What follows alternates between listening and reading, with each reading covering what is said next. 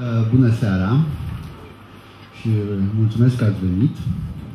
Mult mai mulți decât mă așteptam, recunosc. Uh, începem, se pare, un ciclu întreg de despre și cu antropologie și îl începem, o să vedeți, nu întâmplător cu uh, locuința. Și remarcați, am spus locuire, locuință, nu casă, gospodărie. Pentru că, într-un fel, uh, locuința este Uh, cum spun, spațiul cel mai important pentru viața omului. Unii chiar spun că definește omul. Nu vreau să intru în filozofie, dar un domn numit Heidegger spune, spunea că omul este un animal care locuiește, dar coborând mai așa mai la fiul ierbii, din tot ce știm cu toții, în uh, locuința în care locuim se întâmplă toate, de fapt. Uh, vin copiii, pleacă bătrânii, vin femeile, rămân bărbații sau cu toate, este invers, uh, vin proprietățile, moștenirile și se continuă uh, moștenirile. Deci este un fel de uh, răspântie prin care trec toate elementele vieții. Tot aici se întâmplă alt lucru fundamental, care cel puțin până relativ de curând era fundamental, ceea ce se cheamă ospitalitate și care în termenul românesc absolut minunat se cheamă omeni și care traduce foarte bine ce înseamnă de fapt ospitalitate. A omeni, adică îl faci pe celălalt om. Pentru că străinul nu este om. Dar după ce este omenit, adică pus la masă să dă de mâncare, de băut, uh, colegi mai mei, ai mei mai în vârstă au mai prins ceea ce se chema ospitalitatea integrală, adică la mâncare, băutură, al treilea element era femeia casei. Am venit prea târziu, asta e. Uh, dar asta era modalitatea de a-i face pe ceilalți ca și tine. Și ospitalitatea este, într-un fel, era dreptul internațional al societăților uh, premoderne. Adică dacă oferai cuiva ospitalitate, era un fel de, de pact uh, de neagresiune, pact de prietenie, nu cu persoană, nu existau persoane, nu existau indivizi, ci cu tribul respectiv, neamul respectiv, grupul respectiv. Mă rog, pe scurt, uh, majoritatea uh, lucrurilor din viață se petrec în și în jurul uh, casei. Și din acest punct de vedere, casa, locuirea, locuința, este în același timp paradisul, unde se întâmplă toate lucrurile bune, dar este și uh, infernul, Că tot aici ni se întâmplă și toate lucrurile uh, rele. Încercăm să ne întoarcem acasă, uh, de câte ori uh, ne este mai greu, dar încercăm și să fugim de acasă când presiunea grupului, a părinților, bunicilor, neamurilor, străbunicilor care vor să ne învețe cum trebuie să ne purtăm, ce trebuie să facem, este prea mare. Acestea fiind zise, uh, o să încerc să uh, vă arăt câteva imagini și să încercăm să facem un fel de, de ghicit în cafea, nu de ghicit în cafea în acest caz, ghicit în casă, un fel de spunem cum locuiești și spun cine ești. Uh, după care, deci după câteva uh, imagini mai uh, diverse, că trebuie să ilustrăm puțin faptul că locuirea e foarte diversă, Uh, o să mă concentrez totuși pe uh, spațiul nostru, o să ne întoarcem acasă, să spunem așa, la propriu, uh, și o să insist pe locuirea în societatea românească. Dăm drum. Întâi și întâi, locuim materia. Locuim în lemn sau locuim în piatră? După cum o să subliniez două secunde mai târziu, suntem o civilizație a lemnului, dar ceea ce m-a fascinat totdeauna este că ne naștem în lemn, trăim în lemn, murim în lemn, dar când ne căsătorim, ce în casă de piatră. Explicați-mi dumneavoastră relația asta, că pentru mine a fost o taină totdeauna. Uh, deci, Casă de lemn, casă de piatră, această casă de sus, uh, cred că e una dintre ultimele case, e fotografiată acum 2 ani, dar deja nu mai e locuită. Dar ce vreau să ilustrez este că ele seamănă într-un fel, doar că materia este cu totul alta uh, drumurile sunt altele, spațiile sunt altfel organizate, uh, viața de dincolo e altfel organizată. Uh, știți de ce avem noi cruci de lemn? Păi întrebați-i pe țărani și o să vă explice că pentru a trece cele N vămi, dacă avea o cruce de piatră, nu mai ajunge niciodată în paradis. O cruce de lemn mai merge. Deci explicația este foarte simplă. Nu știu ce spun catolicii la chestia asta, dar mă rog, ei au purgatoriu, au alte probleme. Uh, mai departe, uh, ceea ce este foarte important aici este că piatra și lemnul intră în viața noastră și prin faptul că și ele trăiesc altfel. Deci ceea ce spuneam acolo, lemnul renaște, piatra durează. Și suficient să ne uitați la ceea ce numim noi patrimoniu. De exemplu, patrimoniul, tradițiile noastre, Muzeul Satului. Toate casele sunt din lemn și au putut să fie transmutate din satul lor de origine, din locul lor de origine, într-un muzeu. O casă de piatră nu de acolo. Acolo e, acolo moare uh, și durează uh, secole. E, sentimentul ăsta al duratei uh, este extrem de, de important. Mă duc aminte că eram undeva în alpii francezi, într-o pășune, un cioban, uh, care era într-o casă de piatră, evident, în mijlocul unei uh, pășune, așa, și l-am întrebat uh, românește, dar de ce ți-ai făcut o casă de piatră? De ce ai făcut o casă de lemn? Uite, mai la vale, e pădure, ce... Doamne, ferește, cum să facă casă de lemn? Casa de lemn o zboară vântul imediat și s-a așezat. Asta durează, asta e serioasă. Nu, nu concepea că o casă poate să fie uh, de lemn. Deci această problemă a duratei uh, este foarte importantă și se impregnează în, uh, în viața noastră mai departe.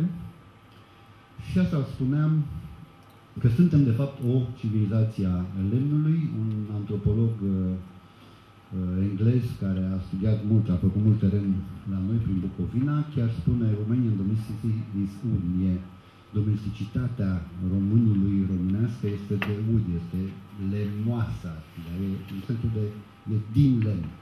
Și lemnul este, o să vedem mai încolo, este efectiv și un element identitar foarte, uh, foarte important pentru cultura, uh, cultura românească, dincolo de povestea poetică cu românul frate cu cod. Uh, dar fac o paranteză, probabil nu știți de ce realmente românul frate, frate cu codul.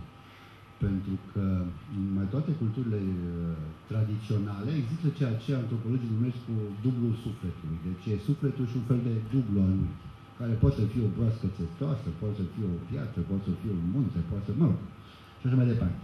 Ei, Uh, probabil că știți uh, cântecul Bradului, care e cunoscut, dar practica, ritualul Bradului e mai puțin uh, cunoscut. Ritualul Bradului e foarte simplu și constă în următorul lucru. Când moare cineva, oricine ar fi, deci nu acel brad de la nuntă pe care știm cu toții, bradul festiv, și când moare cineva, o, o ceată de feciori trebuie să se ducă în pădure să îi caute bradul. Pentru că fiecare om se naște cu bradul lui, care este un fel de dublu al lui, este fratele lui uh, simbolic. Și trebuie să-l caute. Uh, și bineînțeles, ca pretutindeni, există și semne când l-au găsit, când nu l-au găsit. Unii îți spun, pe da, îl auzi. Mă, nu știu cum aud ei chestia asta, dar trecem peste detalii prozaice. Dar sunt o fel de semne. Dacă când îl cobori se rupe vârful, înseamnă că l-ai greșit, nu-i bun. Dacă se împiedică unul dintre feciori, nu-i bun. Deci ai tot felul de semne ca la, ca la medic, de diagnostic, dacă ai găsit bradul adevărat, deci care e care e dublul sufletului uh, român. Deci iată că în, uh, în uh, mitologia, să zic așa, românească, bradul este chiar fratele român, este dublul fiecărui uh, individ gata cu lemnul și piatra, mergem mai departe, pentru a vă ilustra foarte rapid, foarte puțin din uriașa diversitate de forme de uh, locuire, de locuințe. Uh, departe. Iată cum arăta în imaginația lui Viollet le Duc uh, prima clădire remarcați că are o formă rotundă și o să ne întoarcem la chestia asta și o să vedem care este semnificația ei. Uh, pentru că, de regulă, popoarele nomade, ori uh, până la Revoluția Neolitică, când uh, oamenii s-au mai așezat, au devenit agricultori, cam toți erau, uh, să zicem așa, nomade. Deci toate popoarele nomade, de regulă, sigur că există totdeauna și excepții, dar de regulă, și sunt motive și tehnice din acest punct de vedere, de la Polul Nord la uh, Ecuator, uh, construcțiile, casele lor sunt rotunde. Casele, casele agricultorilor, sedentarilor sunt dreptunghiulare sau uh, pătrate, dar de regulă nu sunt rotunde. Deci este o, o împărțire foarte interesantă în, uh, în forma însăși a uh, locuirii pentru o împărțire fundamentală a omenirii, nomazi și uh, sedentari. Uh, din această uriașă diversitate, Aș vrea să insist doar asupra două, trei uh, forme, care o se cheamă log houses, ca așa a intrat în literatură, case lungi. Case lungi, uh, care arată cam așa, să este o reconstrucție din zona nordică, din țările nordice, o reconstrucție a unei case lungi vikingă. Asta e undeva prin Borneo. Și astea sunt pe viu, ca să zic, așa sunt fotografii de acum. Uh, făcute prin, uh, pe la mijlocul secolului 20. Uh, după cum vedeți, casele lungi chiar sunt lungi și aici trăiesc între 50, 100, 150 de oameni și este ceea ce în antropologie se cheamă societăți pe casă. Adică nu e noi, familia mea, stăm într-o casă, sau mă rog, noi neamurile noastre stăm într-o casă, ci noi toți care sunt aia toți, stăm într-o casă. Sigur că pe aceste spații uriașe pe care le vedeți, uh, ceea ce am putea numi familie sau un grup de, de rudenie, au spațiile lor, uh, dar casa nu este a unuia sau a altora, este a tuturor și casa cu numele fiecare casă de aceasta dusă casă lungă, are un nume și are o personalitate juridică, să zic așa, și a dăinuie uh, secole la râmă, până să dărâmă, evident. Uh, indiferent de câți oameni stau acolo când mor, nasc alții și așa mai departe. Deci, uh, de ce am dat acest exemplu? Pentru că uh, pentru noi este greu de imaginat uh, decât cei care au trăit prin comunism și au prins, uh, aveam o casă cu 10 camere și ne-au băgat comuniștii 20 de chiriași și atunci asta e la grămadă. Deci acest gen de stat la grămadă e o chestie uh, greu de înțeles pentru noi, pentru că, mă rog, contravine idei foarte extrem de moderne de intimitate. Deci acesta este un mod de uh, locuire care poate fi întâlnit în foarte multe uh, societăți.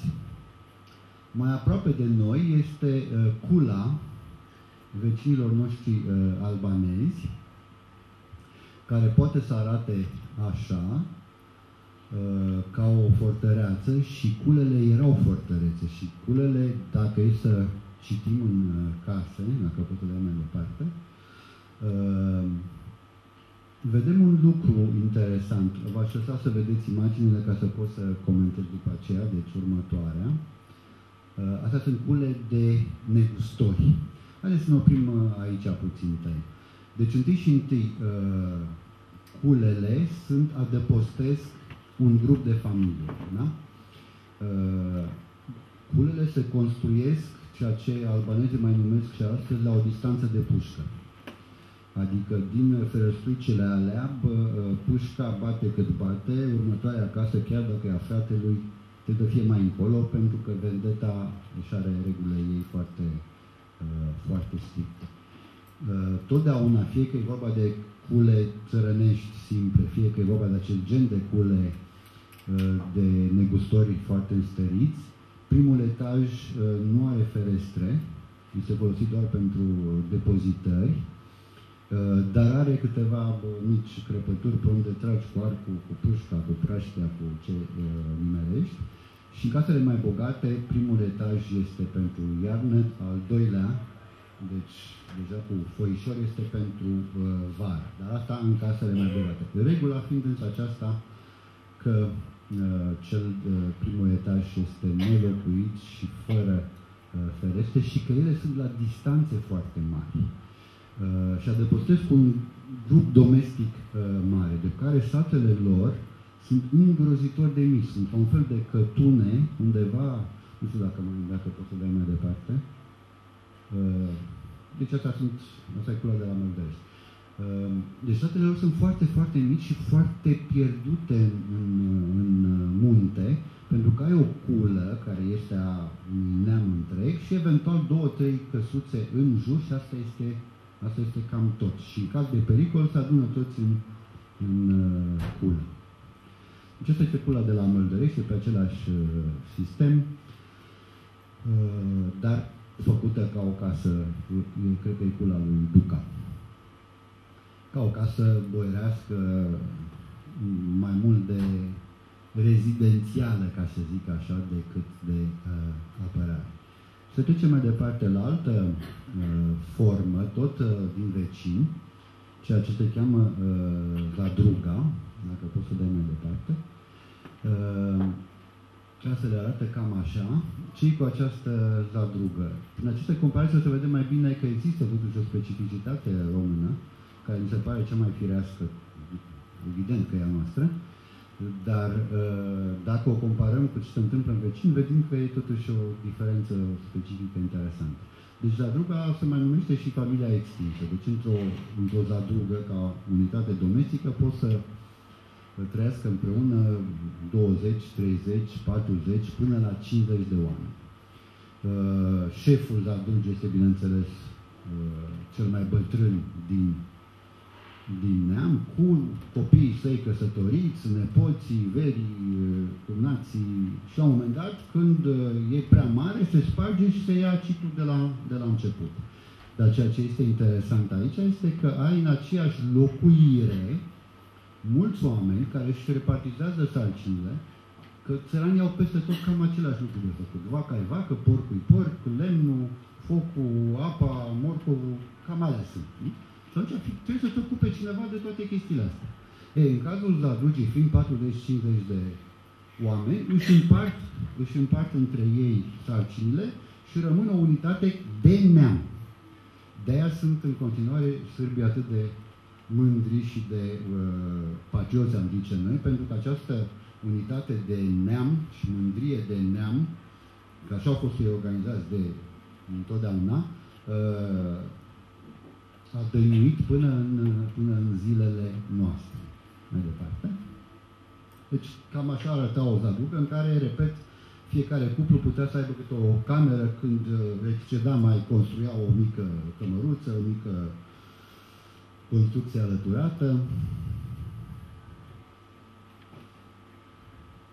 Nu, diferite imagini despre zadruci. Așa ceva în satul românesc, vă dați seama că este de neconceput. Ați văzut odată în casă satul românesc tradițional așa ceva, nici n-ar avea de ce să fie și o să vedem de ce nu avea rost. Nu, are, nu, nu pentru că nu puteau să construiască, ci pentru că nu aveau, nu avea rost să construiască așa ceva, pentru ceea ce înseamnă gospodăria românească, la care o să ajungem relativ rapid, mai departe. Trecem la altă formă de organizare, sub nasul nostru, care se cheamă vecinătatea săsească.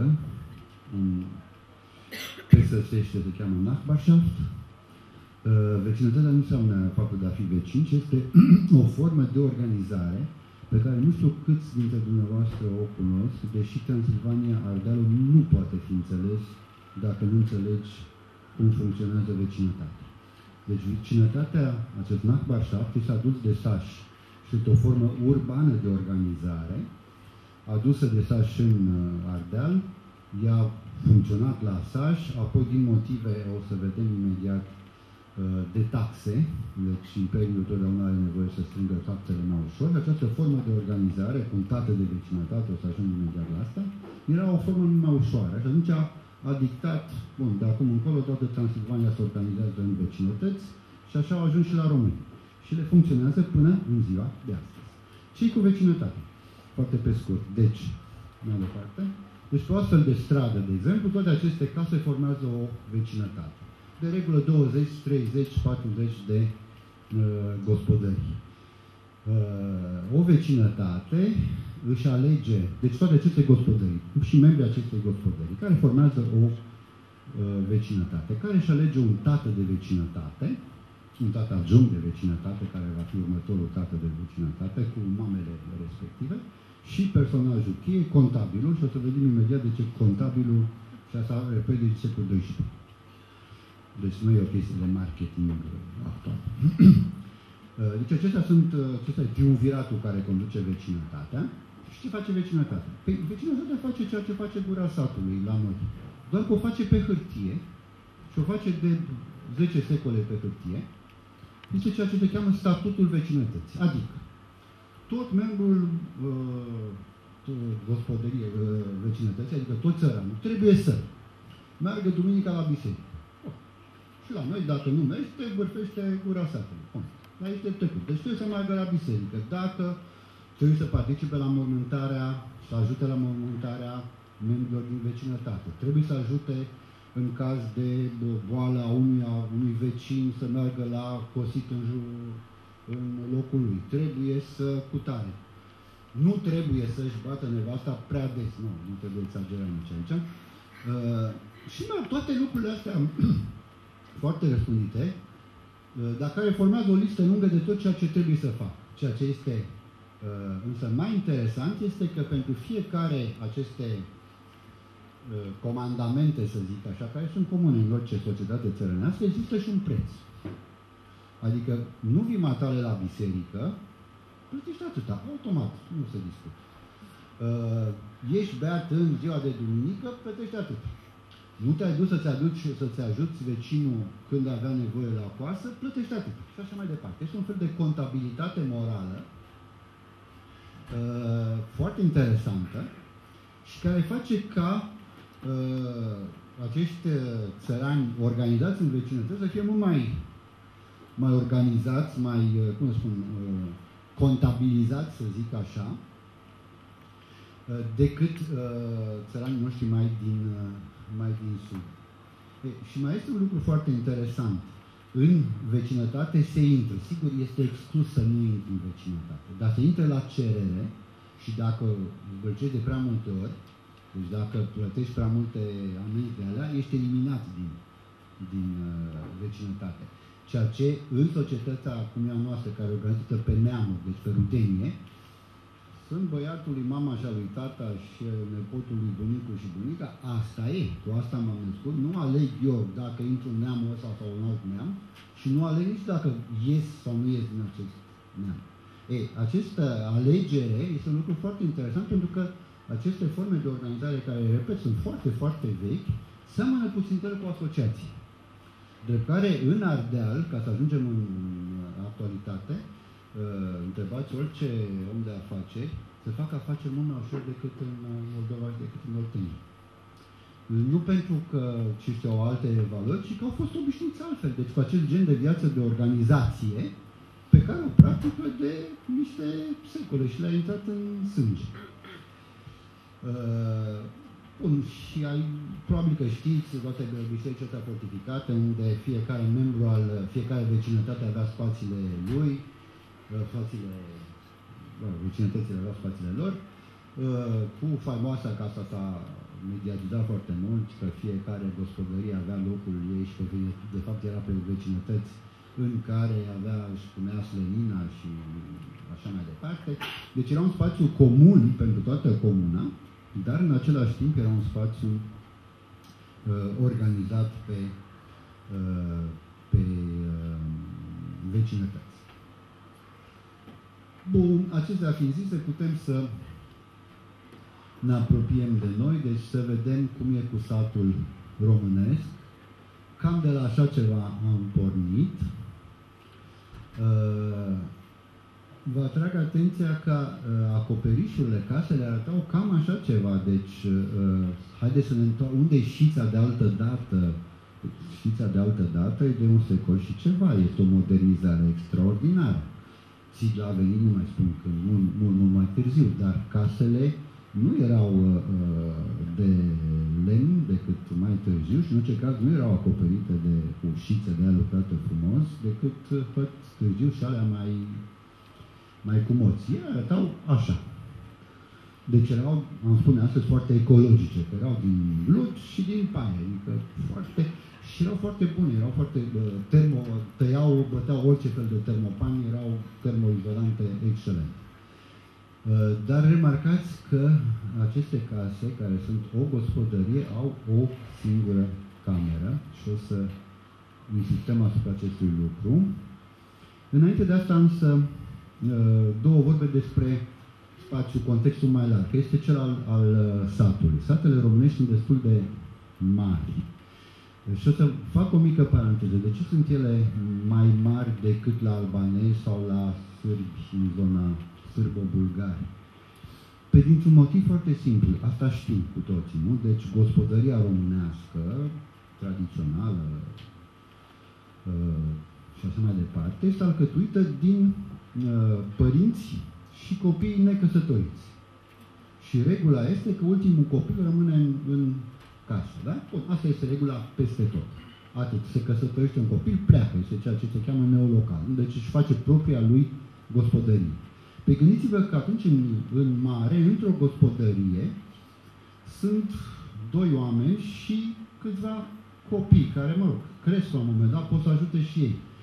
Dar nu pot să acopere toate sarcinile tot ce ai de făcut un țăran.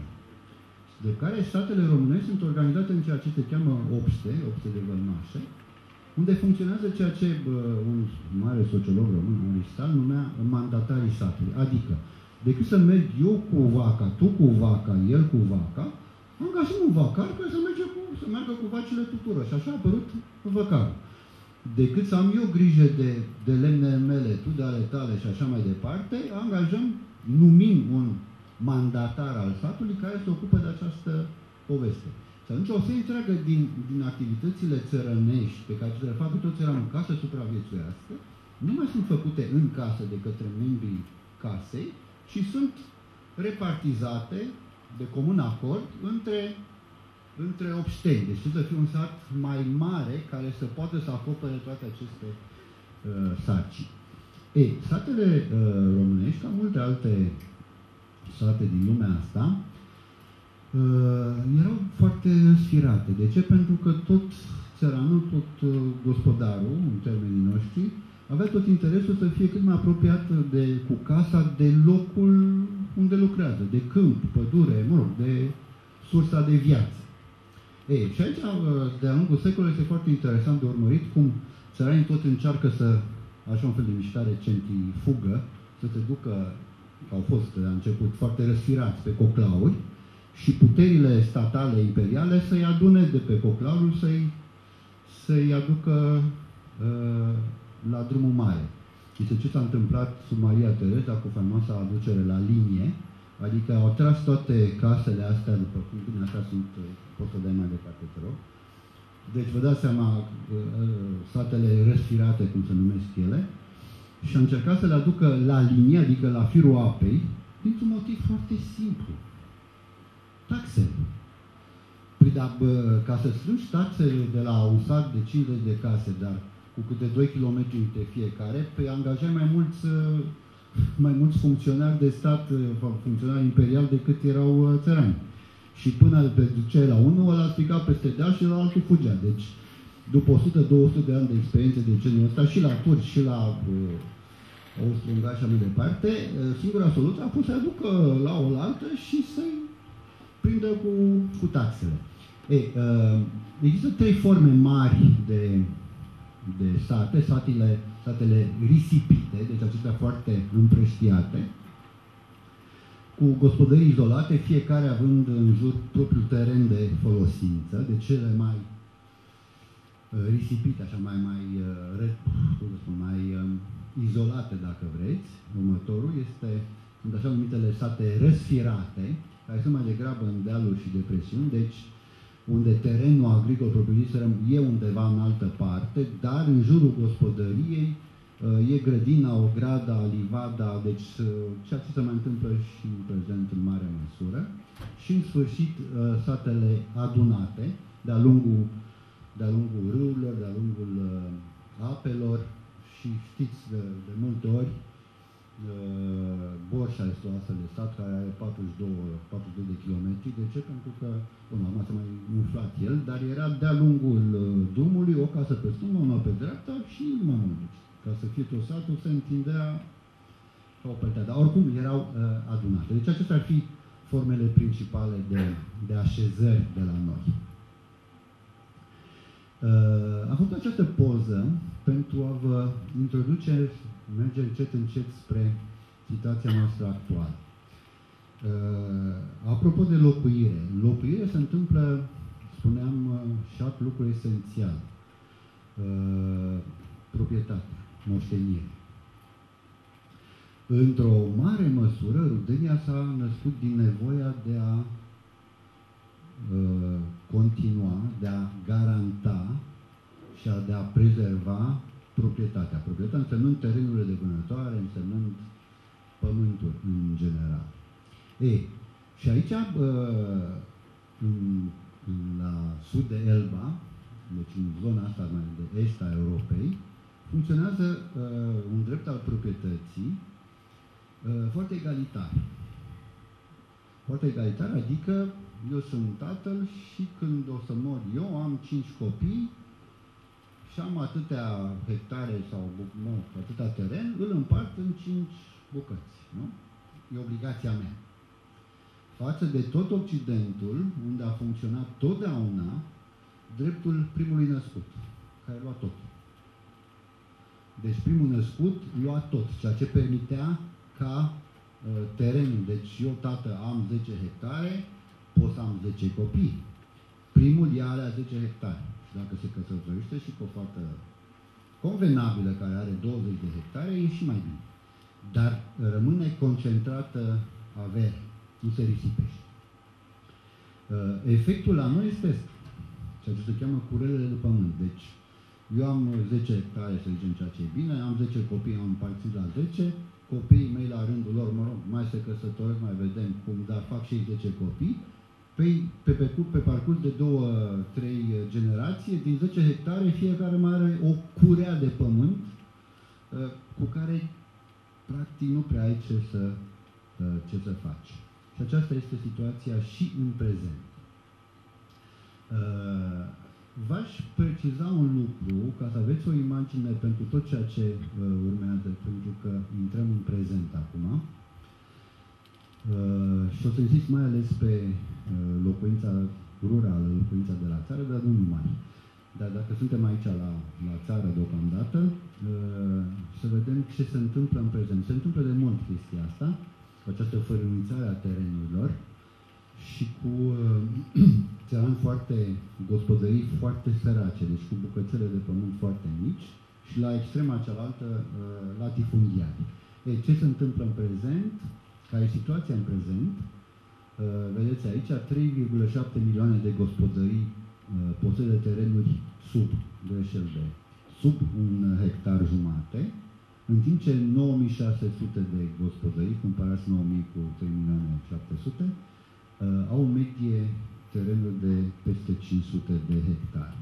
Deci ce înseamnă asta? Înseamnă că la o extremă avem 3 milioane jumate de gospodării sărace, economie de subsistență, la cealaltă extremă avem vreo 10.000 de gospodării foarte bogate și la mijloc, clasa de mijloc țărănească, care e sublină, dar lipsește cu absolut cu Deci nu există așa ceva. Și o să vedem de ce acest lucru statistic uh, este foarte important. Uh, revin deci la gospodăria țărănească, vă am atras atenția că acele case pe care am văzut erau așa numite casele unicelulare, deci cu o singură cameră.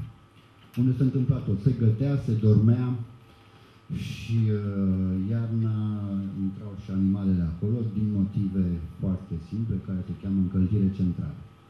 Era cea mai ieftină încălzire centrală de imaginat. Uh, așa arată casele astea unice. La, la muzeu arată mult mai frumos. E, în viața reală, să știți că 10 copii, capra și soacra în același spațiu nu e chiar... Uh, o fi tradițional, o fi autentic, dar nu e chiar cel mai de invidiat lucru, mergem mai departe. E, asta este, de fapt, casa clasică, să zic așa, două camere pe tindă, deci cu intrarea asta centrală, o cameră stânga, o cameră dreapta. Uh, dar, acum în termeni mediatici se va spune că așa e românul fudul, nu vreau să generalizez, însă de fapt e tot cu o cameră. Pentru că de cele de regulă, una dintre camere era cea în care se gătea, se dormea și așa mai departe. În asta centrală de trecere în tindă se depozitau și camera din dreapta era camera de fală, în care nu se intră. În care se puneau zestrea femeii, zestrea gospodinei, uh, unde se murea, unde se năștea, unde se căsătorea, după care se încuia. Punct. Deci se trăia tot într-o uh, într-o cameră sau gospodăria cu ocol întărit din care se mai păstrează unele urme, îmi pare rău, pozele nu sunt foarte bune. Acestea sunt gospodările mai, mai stărite, în care ai o parte de ce e casa de locuit, dar de jur împrejur sunt toate acareturile, cu șură, cu așa mai departe, care formează un fel de, de dreptunghi închis. Mergem mai departe. Și câteva imagini peste care putem să trecem mai rapid. Deci dezvoltări ale acestei variante, în zonele de deal, mai ales cu vie, sunt înalte ca să poți să aibă o pivniță mai adâncă pentru vin. Apar ornamentele, la un moment dat să nu vă imaginați că au fost uh, din totdeauna, sau apar influențe de la oraș, deci acest gen de traforaj pe care îl găsim și pe Valea Prahului pe undeva, din zona Slănicului, este influență clar, deci e casă țărănească, dar cu pretenții mai de oraș, cu decorațiuni mai de mai boierești, să zic așa. De afară, haideți să intrăm înăuntru, în această faimoasă casă, cameră de fală, în Marambureș, chiar așa se cheamă, Maramureșinii sunt mai... Altfel se cheamă camera bună, ceea ce e mai eufemist. Nu, Maramureșinii o spun pe șoare, camera de fală, ce să mai curcăm. Mergem mai departe, deci așa arăta de mult și așa astea fotografii ale unele ale mele, majoritatea ale colegii mele, Ana Maria Iuga, din Maramureșul de astăzi, 2010, în pozele. Și în succesiunea lor o să vă rog să urmăriți cum se schimbă treptat, treptat. Numai o secundă aici. Uh, grinda asta de sus, pe care vedeți, pe care sunt așezate toate Uh, covoarele, scoarțele și așa mai departe, se cheamă rudă. Uh, și e o întreagă gramatică aici, uh, deci fală, fală, dar trebuie să priceapă și bă, cel împricinat. Deci nu pui orice, nu pui în orice fel de ordine. Diferitele state au uh, motive ale lor destul de distincte și dacă e o femeie foarte făloasă, să zic așa, adaugă un ceva care e doar al ei și pe care te ferească Dumnezeu să-l furi sau să vrei să-l furi, că e uh, jale și care este exact nota distinctivă finală. Deci, în această aparentă îngrămădire, suprapunere de țoare, nu? E o gramatică foarte subtilă pe care noi nu știm să o citim, dar asta e treaba noastră, nu e treaba lor. Ei știu foarte bine și când intră o femeie într-o cameră făloasă, știe cu cine are de-a face, știe și ce de la maică sa, ca să zic așa. Deci este un, un debriefing uh, absolut uh, perfect. Mergem mai departe. Sigur că pe măsură ce uh, se modernizează, se urbanizează, această cameră devine mai mult un fel de debara, de uh, un fel de dressing, da? Da, dar un dressing ciudat, pentru că uh, nu vrei nici să le arunci, dar nici nu mai le păstrezi. Deci de sunt mai înghesuite, dar vedeți totuși, ele rămân acolo. Celelalte sunt, uh, nu mai sunt pe rudă așezate frumos, sunt claie peste ground. Deja o perioadă de, de tranziție. Să le țin, să nu le țin, le-aș da, dar nu mă îndur. Mă rog, chestii de genul um, ăsta. Pentru ca în timp să Uh, să se schimbe, să rămână obiceiul, să rămână ideea Dar astea, aceste perne pe care le vedeți sunt uh,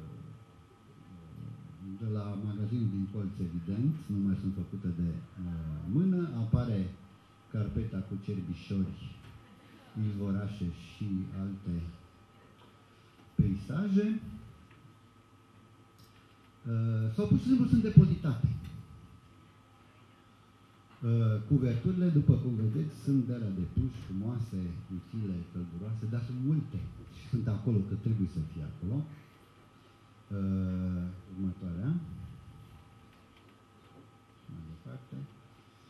Uh, de aici mi se trage, vedeți, acum deja am trecut spre, spre living și uh, asta este trecerea, deci de la camera, living-ul despre care vorbim noi, sigur că termenul este, uh, nu e românesc, sufragerie, dacă vreți, nu, dar e living-ul, uh, este urban, dar el face așa cum îl locuim noi, noi în general, face fapt trecerea este echivalentul urban, echivalentul mai modern al camerei de fală, pentru că acolo spuneți mie ce rost au cele trei perne care pe alea poți să dormi pe ele, adică nu să pui capul pe el, că stai așa.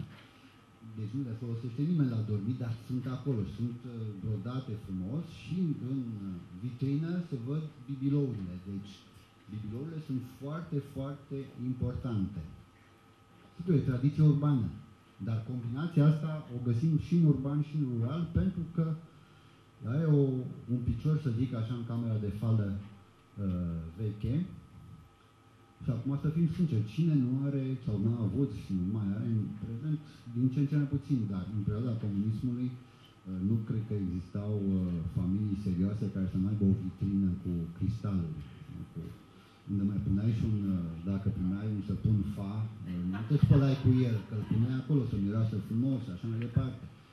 Unii mai prindeau o, o cutie de tuborg, uh, o beau sau nu o beau, dar o puneau acolo. Bun, deci tot ce era mai de fală. Bun, și fiecare cu fala lui poate să fie și Rembrandt în fond. Depinde cum îl pui în scenă. Ori vitrina este un element foarte interesant care sintetizează, de fapt, vechea cameră bună diverse variante, dar din care, după cum vedeți, nu, nu uh, lipsește niciodată vitrina. Mergem mai departe. Oh. Am mii de astfel de poze, evident. Uh, și aici îmi place această uh, opoziție, dacă vreți. Uh, în sus uh, e tot o casă rezidențială, care, vă pot spune, nu se vede, are piscină și jacuzzi, deci nu e foarte țărănească, dar care reconstituie cu gust uh, și așa mai departe, reconstituie camera bună de la o uh, cameră, de la o casă țărănească, în timp ce jos este camera burgheză, living-ul burghez, dar care nici aici nu lipsesc uh, vitrinele, deci colțurile de, colțuri de fală. Deci de la camera de fală se trece la colțuri de fală.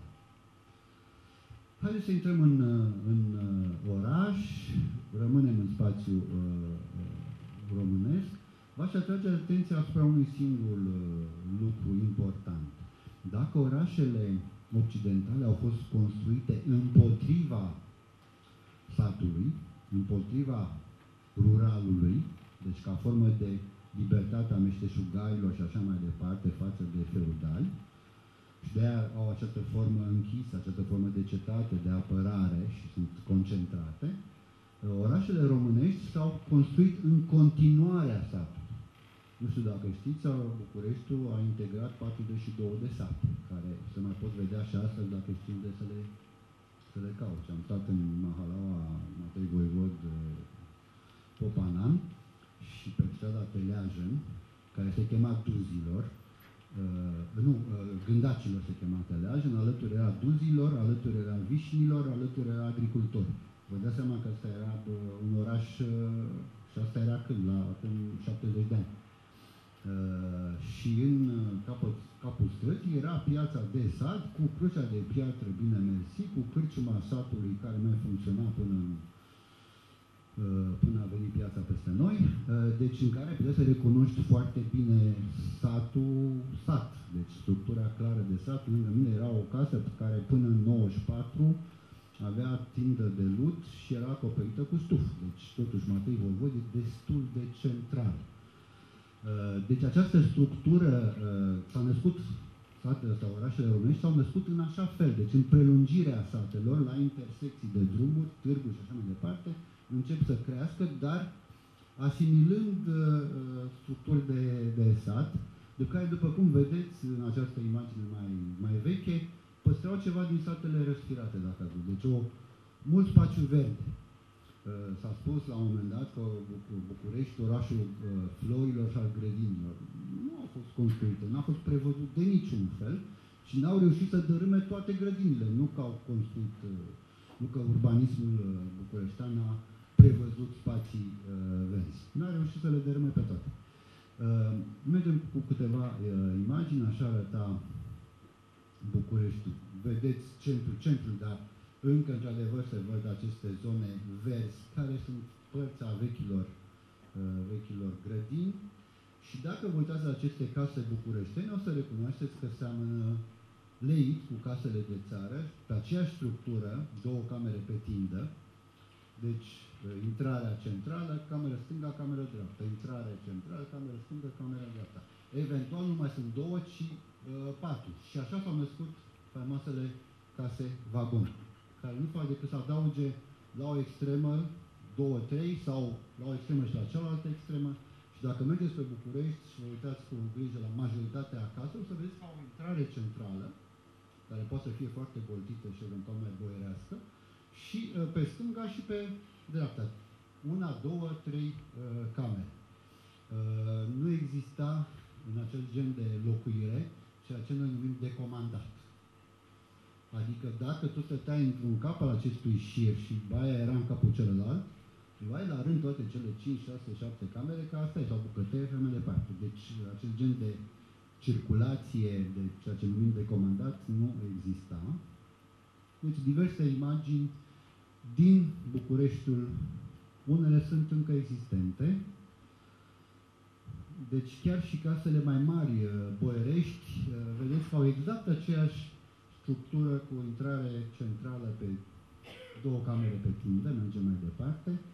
Bun, apar negustori, apar casele negustorești, dar între ele, și asta e o imagine care îmi place mie foarte mult, e tipic de Bucureștiul vechi, Bucureștiul uh, adevărat, uh, acest gen de, de curți, casele pe curte, deci, uh, care sunt de fapt case de genul ăsta de țară, care devin case vagon, uh, și uh, care uh, între una și cealaltă rămâne o curte de asta întreagă uh, comună. Mergem mai departe. Ca să ajungem la modernizare. Să vedem ce ne-a adus modernizarea. Uh, începem cu, nu mergem prea departe, uh, mai aproape de noi, urbanismul uh, comunist, despre care știm, deci nu are rost să discutăm uh, ce a fost sistematizarea și cum arată blocurile, că ele arată și în continuare cam tot așa ceva. Aș vrea să insist pe partea cealaltă, mai puțin discutată, mai puțin văzută. Nu pe faptul că uh, bine cunoscut că am fost mutați la bloc și că blocul arăta așa cum arată, toate erau la fel, din satul mare până în Tulcea era aceeași structură, aceleași metri pătrați, dar da, omul e om peste tot și nici românul nu face abstract, uh, excepție. Uh, tot omul a încercat să domesticească acest spațiu neutru, uh, cenușiu, constrângător, unde se putea, uh, și asta e într-un orășel pe lângă uh, Brașov, dau mai multe imagini, deci a încercat să iasă din bloc, să uh, pună, să-și pună amprenta pe o trei roșii și un uh, trandafir uh, și așa mai departe. Lemnul. Lăsați puțin de la aici. Nu, asta două uh, Deci ăsta blocul, după cum vedeți, foarte frumoase. N-are niciun rost, nici poarta aia, nici aceasta, dar îmblânzește. Lemnul totdeauna îmblânzește. Și nu e ca la celălalt. Și apropo de asta, vă, vă rog să vă gândiți la un lucru. Chiar dacă stați la bloc, nu stați la bloc, ați fost sigur în blocuri, Spuneți-mi dacă ați văzut vreodată într-un bloc ca toate ușile la intrare să fie la fel. Ori, blocul era legat la cheie cu toate ușile la fel. A doua zi, niciuna nu mai era la fel. Primul lucru pe care îl făcea orice om de bun simț care intra într-un bloc era să schimbe ușa. Uh, ceea ce e un lucru foarte ușor de înțeles. Ești din turmă. Adică în această casă, unde se intră pe această ușă, stă această persoană care sunt eu. Pentru că altfel uh, nu era nicio fel de notă distinctivă. Și toți avem, nu e vorba de trufie aici neapărat de orgoliu, ci de distinție. Adică nu vreau să fiu ce să mă disting, să, dacă ajung beat acasă, să știu unde intru măcar, nu? Dacă nu pentru alte uh, motive. Plus toate chestiile astea, trucurile astea de domesticire, de încălzire, de personalizare. Vedeți cum? Deci uh, apare lemnul, apare de la acel balcon care, mă rog, e cum e. Mergem mai departe. Deci dărâmat, dărâmat, da.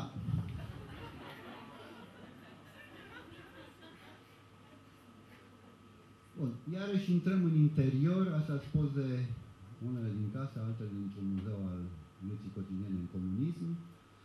Mergem mai departe, ne aducem aminte, insist numai pe acest, uh, această piesă de mobilier pe care unii dintre dumneavoastră sigur o mai țin minte. Cine punea mâna pe o canapea de asta, wow! Și unele erau cu uh, ăsta e plastic care imită plasticul. Dar era plastic care imita pielea și atunci erai boier. Și o piesă foarte interesantă și gândită pentru, pentru perioada comunistă, culma, un fel de modernizare a miseriei comuniste, pentru că asta piesă de bucătărie, care bucătăria devenise spațiu uh, vatra, dacă vreți, spațiu de zi, de noapte, că acolo puteai să mai încălzești puțin tăl și bă, se aduna familia în jurul aragazului, în jurul caloriferului, mai bine nu. Și atunci a apărut această piesă de mobilier, care cu taburetele astea mici permitea cam până la șase persoane să se și iarna trăgeai și o truică fiartă, nu ți era cald, dar nu se mai păsa. Mergem mai departe. Uh, faimoasa masă de sărbători. Și aici o piesă foarte interesantă. Uh, v-aș ruga să vă gândiți în câte case actuale de bloc mai vedeți masa asta mare de 10-12 persoane.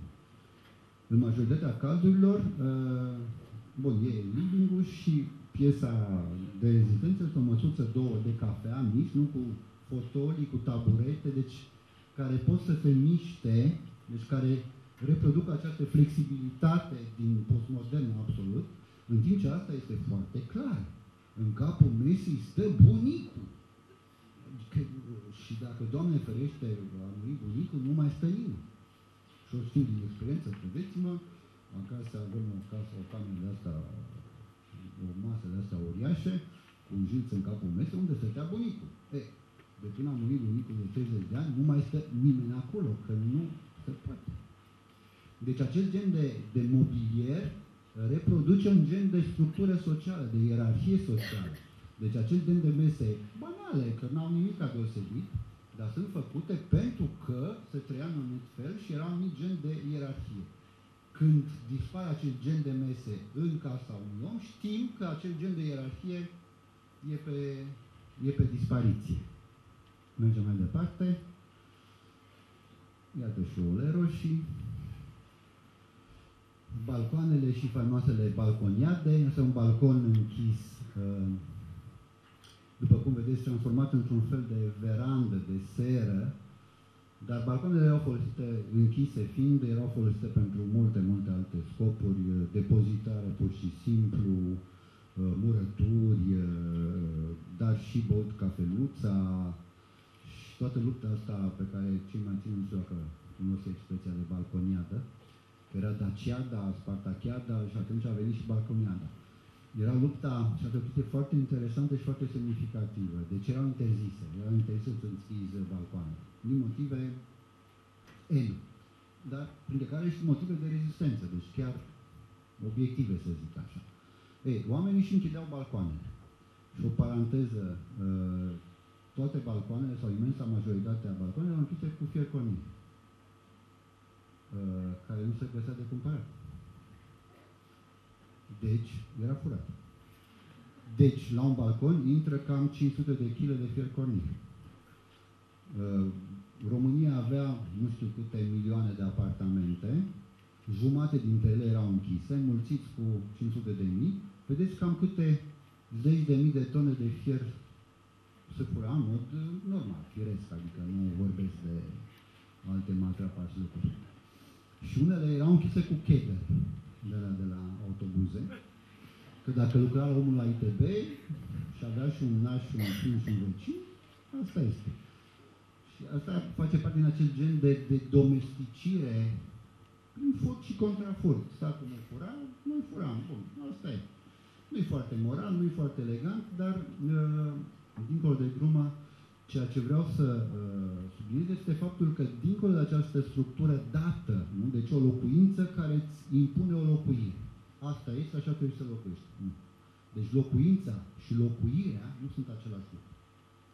Pentru că locuința este o structură fizică, spațială, cum vreți să-i spuneți, care chiar dacă este identică, cum e cazul blocului, fiecare locuitor loc, o locuiește uh, în felul său, îi dă un anumit uh, suflet. Mergem mai departe. Uh, ca să mergem și la modernizarea satului, cred că ați văzut multe case cu acel gen de turnuleț, care pare așa cu o chestie estetică, nu? Care poate să fie doar deschis sau e închis, bun. Uh, explicația este alta.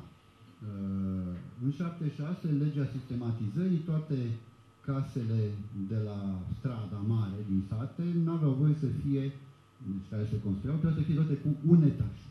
Deci nu aveai voie să mai faci casă fără un etaj. Ceea ce țăranii nu prea aveau de ce și nu prea își dorau acest lucru. Și atunci, uh, bun, erau și planurile la primărie, ai planul A sau planul B. Un fel de Adam alegeți nevasta. Uh, și bineînțeles că totdeauna exista și un planul C al gospodarului care cumpăra, mă rog, primea planul B și cea că îl face, dar n-a știut să citească și ce să vezi, a ieșit altceva. E, dar totuși trebuia să arate A urban, trebuia să arate A case cu etaj. Și atunci începeau să construiască. Și începeau să construiască o bucățică. Și trebuiau bani. Ce să faci? Și atunci foarte multe case au rămas cu o bucățică de asta de casă, de, de, de etaj, Uh, care figura în acte, uh, deci au început să construiască etajul, deci ai ștampila de la primărie, și după ce ai avut ștampila de la primărie, te-ai oprit cu construcția, foarte simplu. Bun, și după care, după caz, bani și așa mai departe, o, cât de cât o încorporai în clădire. Uh, sigur ați văzut astfel de case, nu chiar, am o imagine mai puternică așa, nu chiar integral, dar cu, uh, mă rog, uh, brâu de acest gen, cu un fel de triunghi, un fel de dreptunghi, mă rog, cu ornamente de acest gen, uh, care se explică și foarte simplu, nu mai pot să vă spun exact perioada anul, dar asta e o faianță care a apărut și care s-a găsit pe piață, doar că era, era pentru spitale și uh, dușuri comunale, băi și așa mai departe. Doar că românul cu imaginație le-a luat și le-a pus la afară. Lucesc, sunt frumoase, ieși în evidență și apar acel gen de ornamente uh, în această perioadă. Uh, ne apropiem de zilele noastre, deci ce se întâmplă după căderea comunismului, odată cu, deci, post-comunismul la ora 1 uh, în toate cazurile, ceea ce se întâmplă din punct de vedere locativ este un, un soi de emancipare și o uh, emancipare fizică reală, dar și sentimentul de, de emancipare și de eliberare și de uh, o revenire la individualism. Și o să vedem imediat uh, ce al meu e al meu. Deci sentimentul de proprietate, dar nu foarte bine gestionat, mergem mai departe. Uh, poate mai avem două imagini, da. Deci ce vreau să vă atrag atenția cu acest gen de imagini, pe care le știți cu toții, uh, care exprimă foarte clar acel gen de privatizare a ceea ce a fost, uh, a fost uh, etatizat. Nu?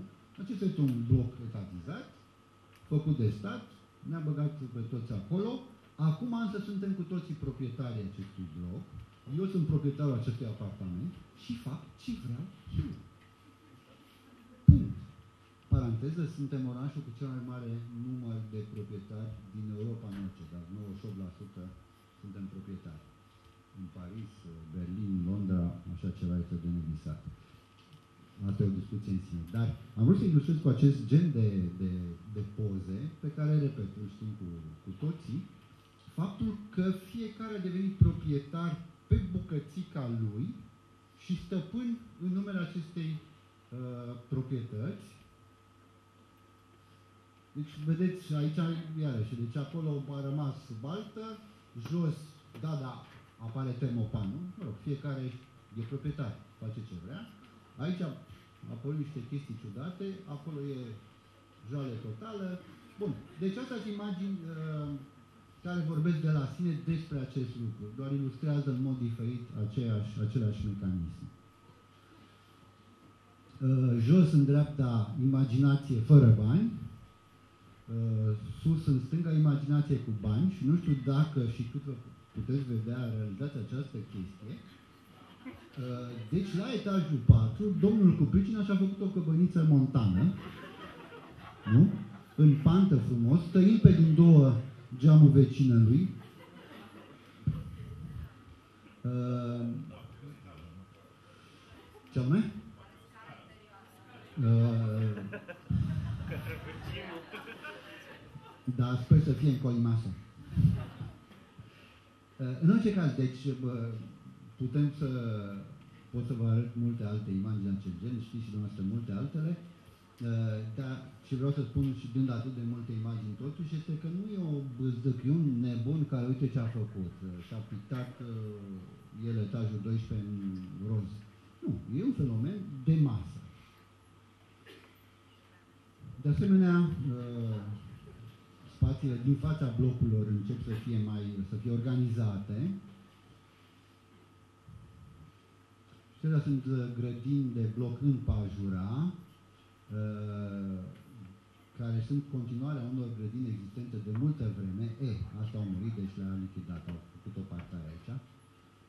Și grădină pe bloc. Deci dacă nu ai alt spațiu, nu ai alt bloc, o faci pe bloc. Și aceasta este, dacă vreți, uh, paradigma uh, privatizării uh, urbane post-socialiste și în dreptul ferestrei lui. Mașina mea, casa mea, fac ce vreau cu ea. Uh, deci, dincolo de, de glumă, uh, ceea ce se întâmplă cu locuirea post-socialistă, uh, cum spun, uh, după Gurita, eliberat și câini, nu? Deci, e proprietatea câinilor, îmi place foarte mult poza, pentru că e pe fundal de bancă, nu? Și fetița trebuie și ea, că e om și ea acolo, și are așa proprietatea ei. Uh, e adevărat că e în mijlocul spațiului public, dar nobody's perfect. Uh, ei, ori această, uh, această eliberare a individului în domeniul locuirii, în domeniul locuințe, să zic așa, s-a tradus pentru privatizarea spațiului public abandonat de către stat. Deci dacă spațiul public a fost etatizat integral în timpul comunismului, controlat de către stat, după căderea comunismului, statul s-a retras total, total excesiv, după părerea mea, dar asta e altă poveste, din spațiul public și a spus e al vostru. Al cui? Pe spațiul public, adică al tuturor. Al tuturor, fiecare a înțeles, adică al meu. Și asta știm cu toții, circulând pe, încercând să circulăm pe trotoare sau încercând să ne garăm mașinile, nu? Le vom gara inevitabil pe un trotuar pe care nu va mai circula niciun pieton, că nu mai are pe unde. Deci ori eu, ori el. Și asta e clar. Dar nimeni nu se supără pe chestia asta, iar uh, mai complex sunt aceste imagini pe care vi le-am mai arătat. Ne mutăm acum la sat, cu ceea ce se poate numi casele făloase, care sunt un fenomen social foarte interesant. Această imagine este chiar cu tremurătoare în felul ei, pentru că vedeți că este casa veche, în care a mai rămas ceva și să treacă realmente pe jumate, pentru că nu mai e necesară, dar în acea jumate de casă rămasă mai trăiesc părinții. Asta e casa copiilor care, evident, lucrează uh, în străinătate. Casele făloase sunt, în imensa lor majoritate, uh, opera, ceea ce noi numim disprețuitor și nu facem bine ce facem, căpșunare. Deci a imigranților, da? A imigranților. Deci oameni care lucrează în străinătate, care pun bani peste bani, cu un singur scop, să-și facă o casă. Uh, ca să aveți un ordin de mărime, în 2008, de când am ultima dată la care am aceste statistici, uh, sumele, ceea ce se cheamă remitențe, deci banii pe care îi trimit lucrătorii români din străinătate, îi trimit acasă. Ne-au plasat pe locul 7 în lume, după mici țări precum India, China și Brazilia. Uh, și pe primul loc în Europa pe departe. Deci vorbim de multe miliarde de euro. Da? Anual. Din acestea, e greu de făcut uh, foarte clar o statistică, dar toate evaluările statistice sunt în jurul a 90% din acești bani intră în locuire. Adică în construit casă, dotat casă, schimbat casă, vopsit casă, mă rog, de tot ce înseamnă locuire. Deci ceea ce, vă dați seama, în niște ani de zile înseamnă niște multe zeci de miliarde de euro. Case cu cât mai multe camere în care nu stă nimeni. Uh, pe care le fac eventual părinții rămas acasă, copiii vin, pleacă, am o studentă care lucrează pe o temă foarte frumoasă care se cheamă Casa prin telefon, pentru că proprietarul e în Spania și mai vede ceva și mai aduce aminte de ceva, mai dă un telefon și acolo în colț mai adăugă, mai fă cu verde. Și mă rog, bătrâna înțelege ea ce înțelege, scandalul, pentru că altă în colțul celălalt cu verde unde trebuie să fie cu. Mă rog, dar uh, vreau să spun că această rețea de, de, de familie, de neamuri, care are un singur obiectiv să-și construiască case nefuncționale, în cel mai, mult caz, în cel mai, în cele mai multe cazuri, și uh, în cea mai mare măsură inutile, în, sens, în sensul ăsta foarte rațional, nu? Am doi copii, de fapt două camere, nu că nu am nevoie de mai mult. Deci aici vine marea întrebare, dar de ce? Pentru că altfel să spunem, am nebunit, așa e românul futur. Nu e o explicație inteligentă. Au nebunit țărani. Nu e o explicație inteligentă. Deci, haideți să încercăm să vedem ce spun ei și de ce fac acest lucru, dar întâi să vedem câteva imagini care de multe ori combină vaca cu Lindabu, care este extinsă și la, deci dacă cei din Oaș, dacă ați auzit de certeze, numesc asta lupta, lupta în căși, de care are căș, cășa mai mare, să mă ierte Dumnezeu, uh, dar și preoții noștri au încins o luptă în biserici de nu se mai vede drag cu înger. Uh, toată Moldova e această modă a, și-a coborât și în jos a turlelor acoperite cu foiță de aur care se cumpără de la Kiev, vin meseriașii de la Kiev și fiecare sat vrea să-și acopere biserica, fiecare preot să-și acopere biserica cu foiță de aur. Să nu credeți că e doar în România, este în toate țările post-socialiste în grade diferite. Asta sunt niște poze din Albania care la capitolul ăsta ne bate pe toți. Deci în Albania se vorbește de mult despre uh, termenul de turboarhitectură. Deci cum e turbofolcul, așa e și turboarhitectura. Și câteodată se întâmplă chestia de drăguțe, că proprietarul acestui teren a zis, nu vreau să vând. De care s-a făcut bloc de jur în jur. Adică cum făcea Ceaușescu când conjura bisericile așa, se întâmplă altfel. Dar un om cu mulți bani a construit atunci blocul în jurul căsuței omului, merge mai departe. Uh, sunt imagini din Albania pentru că sunt excesive, dar o să ne întoarcem și la noi acasă. Uh, de ce aceste imagini? Pentru că să nu credeți că au fost bombardate sau... Nu, au căzut de la sine. Adică uh, ele sunt făcute rapid, uh, de regulă, în cele mai multe cazuri, sunt făcute de către proprietar, cu cât știe, mai întreabă un dulgher, mai întreabă un... dar nu, aproape niciuna nu are studii de, mă rog, calcule de rezistență. Și atunci se îndoaie. Mergem mai departe. Și iată două studii de caz. Unul în uh, Cajvana.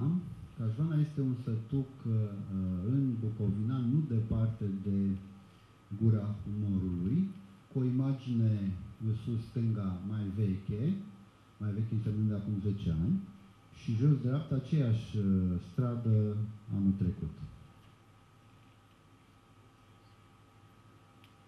Bun, acum uh, fac un mic istorie, deci cam așa arătau casele mai de mult, cea mai veche imagine pe care am găsit-o, case ca peste tot. Uh, remarcați asta o chestie foarte obișnuită, deci face parte din structura asta de gospodărie cu ocol închis, deci casa și în spate, pe o latură sau două laturi, hangarele, deci depozite, grajd și așa mai departe. Mergem mai departe. Vezi că toate păstrează această formă de L sau de U. Da, nu, dați puțin înapoi. E, și uh, modernizarea, să zic așa, în Cajvana, și să vă, toți lucrează în Italia, uh, când nu au bani sau nu pot sau nu știu să-și facă, sau nu au apucat să-și facă o casă nouă, încep să o modernizeze pe acea veche. Deci aici era deci, uh, fânar și așa mai departe. După cum vedeți, au fost tăiate două, două spații de locuit, acolo e garaj, aici e un spațiu de uh, locuit. Încep să bibilească la acoperiș, la garduri și așa mai departe.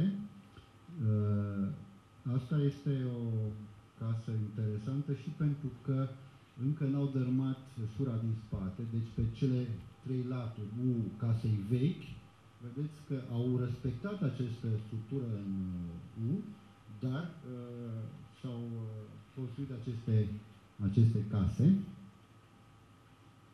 Aici e iarăși o combinație, casa modernă, casa făloasă, dar rămâne și rămân și acareturile. Același lucru. E, aici deja nu mai rămâne niciun acaret. Astea sunt case familiale, deci sunt uh, familii care nu stau aici și care au 2, 3 copii.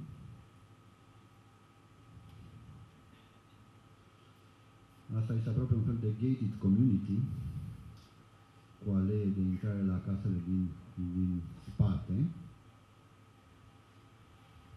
Uh, și acestea sunt două case pe care n-am putut le prind integral, mai se continuă, două case familiale, și aici chiar știu, deci sunt uh, părinții și au, uh, cel de sus are trei copii, cel de jos are cinci copii. Uh, spuneam aici că modernizarea a însemnat în acest caz al locuirii trecerea de la un adăpost pentru noi toți la un spațiu pentru fiecare dintre noi. Și dacă ne uităm la istoria locuirii, care timp de milenii a fost pentru un ansamblu, pentru un noi, fie că acest noi se chema trib, uh, uh, cum spun, uh, neam, familie extinsă, dar locuirea adăpostea un grup nediferențiat sau slab diferențiat de oameni. Modernizarea a însemnat această construcție, această invenție a intimității și această nevoie de intimitate, care merge până la nevoia care mi se pare absolut legitimă și este legitimă, ca fiecare să aibă camera lui. Nu? Uh, imaginați-vă că ați sta cu copiii, bunica și cățelul toți în același spațiu, deja e de neconceput pentru noi. Dar acest lucru s-a întâmplat încet, încet. Uh, și fac aici o paranteză. Uh, nu trebuie să fie Freud și nici descendent din Freud, ca să-ți imaginezi că dacă te naști și crești până la vârsta maturității în pat cu bunica, lângă tata, mama și o soră, și asta timp de 18-20 de ani, nu e același lucru, personalitatea ta, viața ta, psihismul tău se construiește puțin altfel decât dacă de la naștere ai propria ta cameră, nu? cu leagănul tău și în care sunt niște lucruri de alea, niște senzori care spun dacă plângi, nu plângi, e umed, nu e umed și vine bona sau mama, eventual, în cel mai bun caz, să te îngrijească. Dar oricum, dacă ai spațiul tău, ai intimitatea ta. E, ori ceea ce este interesant în aceste case uh, este faptul că toate, dar peste tot, din nord în sud, din est în vest, uh, la etaj n-au decât dormitoare, n-au nimic altceva. Și cât mai multe dormitoare. Păi de ce? Ca să poată să doarmă fiecare în camera lui, toți spun același lucru. Bine, dar aveți oaspeți? Nu. Da, copii. Ei, copii nu avem decât unul. Uh, dar, cum spun, e un fel de, de compensație uh, simbolică, dacă vreți, uh, n-am ajuns. Adică am ajuns la o condiție umană. Am văzut asta în Occident, am văzut asta în oraș, dar nu ne-am permis-o niciodată. Ei, acum nu permitem. Nu ne, nu ne este utilă, dar nu, nu permitem și vrem să o avem, vrem să o uh, realizăm. Al doilea caz, faimosul Certeze, Sper că unii dintre dumneavoastră ați auzit, e în Oaș, nu? Unul din primele sate care a migrat, unde nici uh, cățelul n-a mai rămas uh, tradițional. Deci toate casele au fost uh, dărâmate, iată câteva imagini.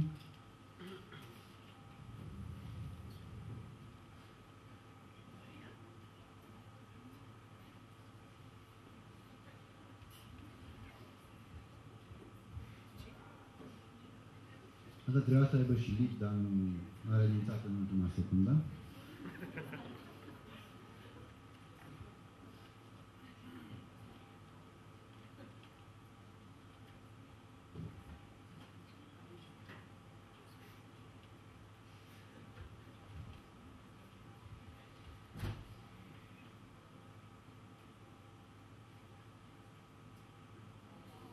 Ghiciți unde, unde lucrează familia asta?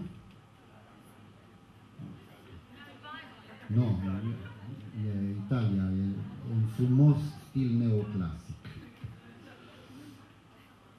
Uh, mai departe. Mă scuzați să nu crezi că bisericile nu țin pasul. Asta e biserica veche din Certeze și alături biserica nouă.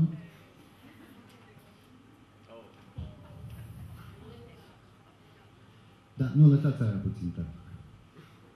Uh, le-am pus alături. Uh, în dreapta este într-adevăr, și am pus titlul Palatele Romilor, care este o mică escrocherie din partea mea, pentru că în stânga este o casă de țăran din Oaș.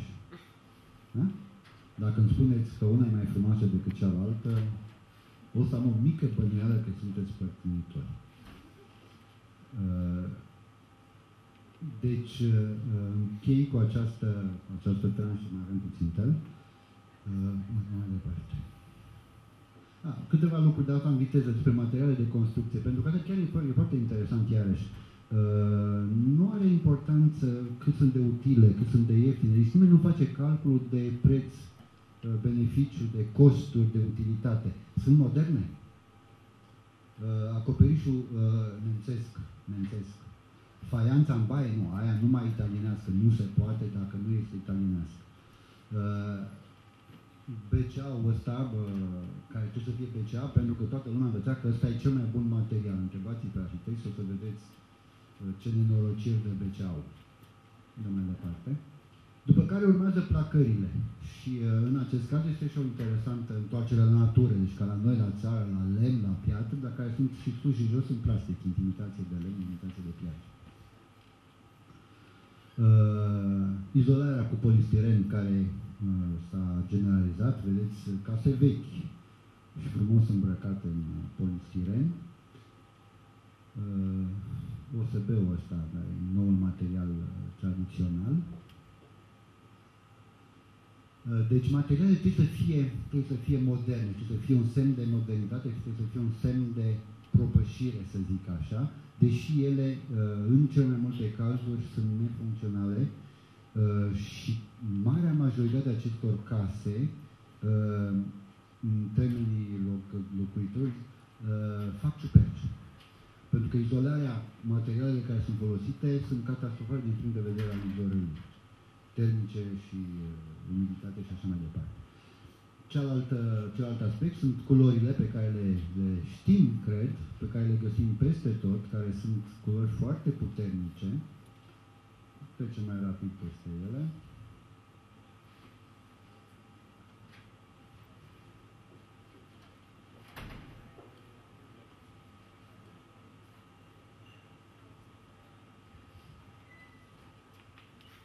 Uh, deci, materialele și culorile fac parte din această vizibilitate excesivă, dar uh, vă sunt dator o mică explicație. Dacă vorbești cu acești oameni și am vorbit cu sute și sute de oameni în această situație, ceea ce îți vor explica uh, este faptul că, în ultima instanță, uh, spunea cineva, noi aici la țară am fost în întuneric, trebuia să facem ceva să ieșim la suprafață. Este modul lor de a ieși la suprafață. Dacă după două secole de modernizare de sus în jos, că statul național uh, român i-a modernizat, comunismul i-a modernizat, piața i-a modernizat, acum au posibilitatea pentru prima dată în istoria țărănimii să-și se modernizeze cum cred ei. Și asta este o afirmație de, de status. Am reușit să fim la fel ca voi. La fel ca voi cine? Occident, urban, uh, modern și așa mai departe. Deci, din acest punct de vedere, este un lucru foarte important pentru ei. Al doilea lucru foarte important și de aia este și această imagine care e apocaliptică într-un fel, în momentul în care țăranul își pune ghivece de flori pe tractor și uh, plugul uh, cu piticuți, ceva s-a schimbat la țară. Uh, de ce este foarte importantă? Pentru că toate aceste case și acest gen de locuire înseamnă și altceva. Am, înseamnă o rupere totală cu viața țărănească. Deci, o declarație clară, nu mai suntem țărani. Uh, am uh, tot felul de relatări, una e foarte scurtă și spune tot. S-a terminat cu balega. Toate aceste case nu mai au vacă. Uh, au scos tot ce înseamnă careturi, au, uh, practic sunt case de oraș, chiar dacă sunt la țară. Uh, deci, din acest punct de vedere și pentru această categorie se poate spune foarte clar, precis, țara nu a murit. Și asta este și declarația lor. Noi nu mai suntem țara. Ultima parte cu care termin, în 5 minute, în ultimii 2-3 ani uh, e un alt stil, e un nou val pe care toți îl numesc rustic uh, și o să vedem de ce este interesant. Îl vedem și pe străzi, ouăle români flutur, ca să zic așa. Rustic nu este o invenție românească, uh, e poveste veche, mai ales britanică, de prin secolul 12-13. Deci o imitare, o intrare în natură, o imitare a naturii, a vieții primitive, a vieții aproape de origini și așa mai departe. Și în în societăți, în în momente, au loc astfel de reîntoarceri, mai mult sau mai puțin fantasmate, de ca prin bunul primitiv, natura bă, și așa mai departe. Iată ce ne oferă designerii, deci în stilul, dacă deschideți, spuneți googleiți puțin tel rustic, vă intră sute și mii de site-uri. Remarcați întoarcerea la lemn. Deci lemnul este regele materialelor în stilul rustic.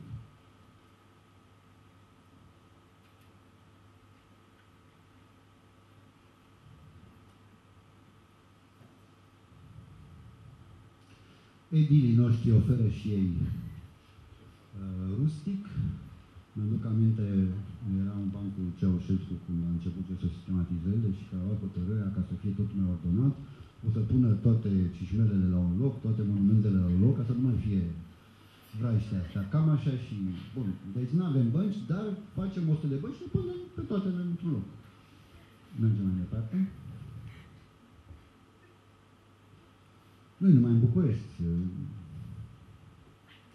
este și o ofertă turistică. Aceste case sunt noi nouțe, cu tot ce le trebuie înăuntru. Dacă vreți mă fac uh, vânzător de case, nu costă decât jumătate de milionul de euro.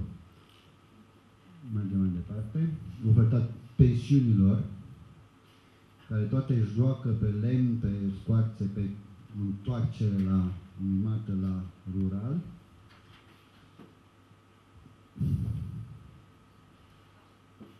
Și elementul cheie în toată această, această revoluție rustică, uh, leagăn, care este acest gen de leagăn de două persoane, de lemn totdeauna, cu acoperiș ca și cum te da în leagăn pe ploaie, de nebun așa, uh, care nu pentru copii, că niciun copil nu poate să urnească monstrul ăla, decât cu riscul să-și picioarele, Și o să vedem ce cu acest leagăn la țară. Deci, uh, că la oraș, că oamenii cu mulți bani, că aristocrația britanică visa să se întoarcă la țară și oferea un milion de ceva ca să aibă acest vis să treacă meargă, printre țăran, că suntem ca și cum am fi țăran, treacă meargă.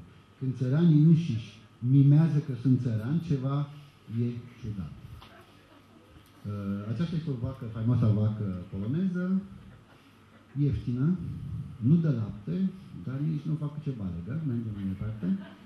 O imagine care îmi place foarte mult este casa veche uh, a bunicilor și alături uh, casa nouă cu garajul și deasupra foișorul. Foișorul este noua băncuță de la poartă, unde se strângeau uh, bătrânii și uh, tricotau acolo o vârfă mică. Ei, acum trebuie să fii deasupra, să privești de sus uh, lumea și nu de unul singur, ci cu prietenii și așa mai departe. Uh, deci acesta este ceea ce poate fi numit repertoriul rustic. Deci tot mai multe case, și vă repet, cam de trei ani chestia asta, vor să facă ceva frumos, ceva rustic. Și elementul de bază, spuneam, este uh, leagănul. Astea sunt fostele mele, fostele, gazdele mele de la Pucheni, unde am fost pe teren acum vreo 15 ani și când m-am întors acum 2 ani, am văzut în ograda lor, unde era porcul și cu burața și nu știu ce, acest leagăn. Și bineînțeles, ce dracu caută leagănul în ograda țărană? Că nu prea merge. Ei, și de aici a început o întreagă cercetare pe care am făcut-o legată de rustic ca să constat uh, că este o uh, răspândire extraordinară a acestor elemente rustice, că leagănul este elementul simbolic fundamental și uh, explicația e foarte simplă. Deci, te legem, nu? Doar când efectiv nu ai nimic altceva de făcut. Întâmplătorii n-au timp să se legene, dar o pun acolo foarte clar, ca să fie foarte clar că trăiesc în loazir, că nu mai sunt, și o spun foarte explicit, uh, acum nimeni nu se mai îndobitocește să crească animale. Bun, și termenul este diferit de la caz la caz, dar toți spun același lucru. Și atunci, inconștient sau conștient, simbolul cel mai puternic, afirmația obiectuală de locuire cea mai puternică este exact asta cu, cu leagănul. Unde n-am văzut pe nimeni niciun țăran legănând, că cred că și... Nu știu, bun. Mergem mai departe. Uh, deci leagănul și foișorul sunt cele două elemente omniprezente.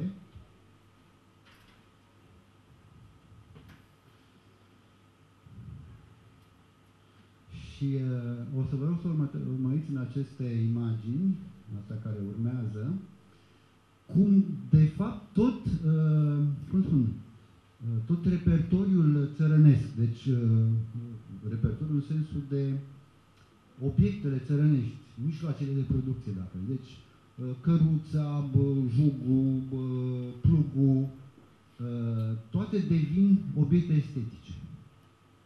Deci își pierd funcțiile lor, toate, deci, uh, mergeți mai departe. Bun, iarăși leagănele. Bun, de exemplu, această imagine pentru mine este paradigmatică. Această căruță e încă în bună stare, folosea până acum câțiva ani de zile, nu?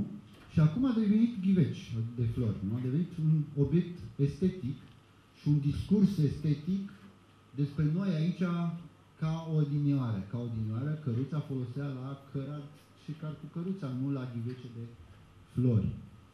Bineînțeles că a apărut și o piață a rusticului, pe legea cerere-ofertă, există o cerere, s-au găsit imediat oameni care să uh, ofere Clicați Rustic House, vă intră cel puțin câteva sute de site-uri. Uh, acesta este uh, sfârșitul. Două vorbe însă despre, uh, despre acest uh, rustic, ceea ce este extrem de interesant aici, este că urmează după moda de 20 de ani, sau măcar, măcar de 15 ani, a caselor făloase, că acești oameni care vor ceva rustic, uh, unu, locuiesc în acele case, doi, acele case au 3, 4 camere, nu 10, 20, culorile preferate, și am făcut sondaje serioase și se și vede, sunt pastelate. Uh, și în același timp, uh, ceea ce explică ei este că am vrut să facem ceva frumos. Acest ceva frumos este o formulă magică, dar care trebuie să ne dea de gândit. Pentru că e clar că îi bucură. E clar că e o chestie de bucurie, că le face plăcere. Când încerci să-i faci să explice, cel mai des formulează chestii de genul ăsta, cum am pus la început. Aici, de ce facem noi acum, este și tradițional și modern în același timp. Ne-am întors la vechile tradiții, dar suntem și în pas cu mod. Ei, ori asta este o găselniță absolut extraordinară pentru toți acești oameni care au câștigat un ban, care au visat să-și facă o casă pentru a arăta că uh, locuiesc ca toți ceilalți și au terminat casa. Și acum ce facem? Că nu are niciun chicherez. Uh, deci acest sentiment de, de peizare, de uh, de pierderea identității, sună foarte filozofic dacă vreți, dar chestiile astea sufletești chiar există. Uh, și atunci cu această, acest stil, cu acest gen de casă, reușesc să împace cele două nevoi, nu?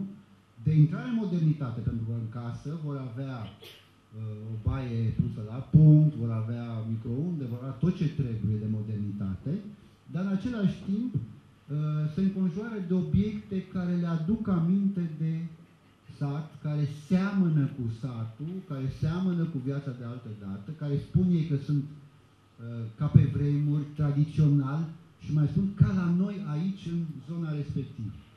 Ce o fi uh, ca în zona respectivă un plastic care imită lemnul, nu știu.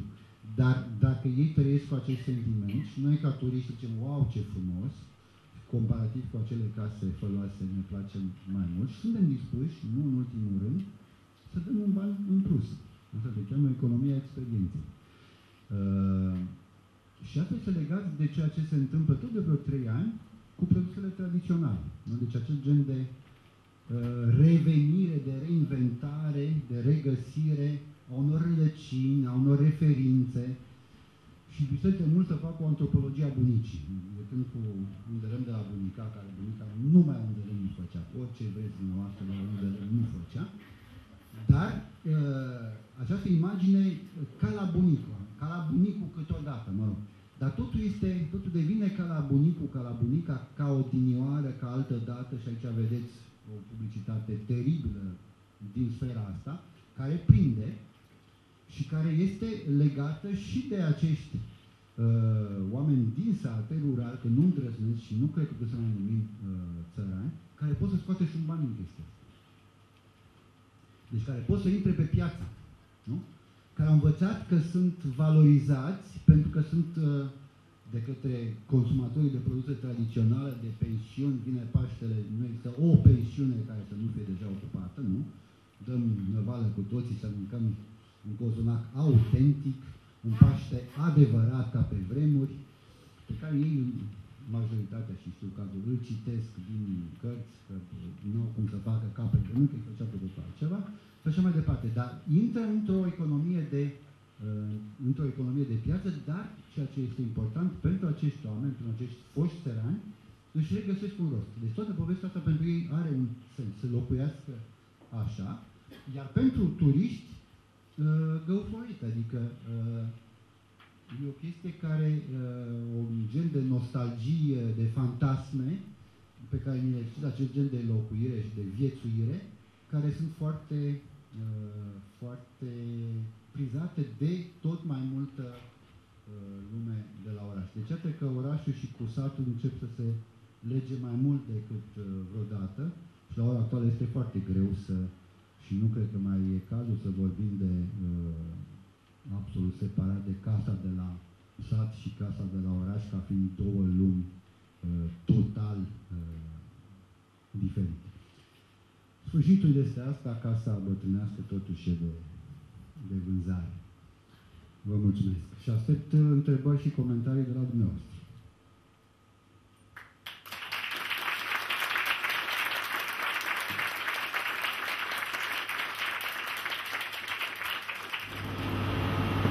Aș vrea dacă puteți să atingeți un pic subiectul ăsta al relației cu cel care, sub o formă sau alta, a lipsit din peisajul civil și acum arhitect.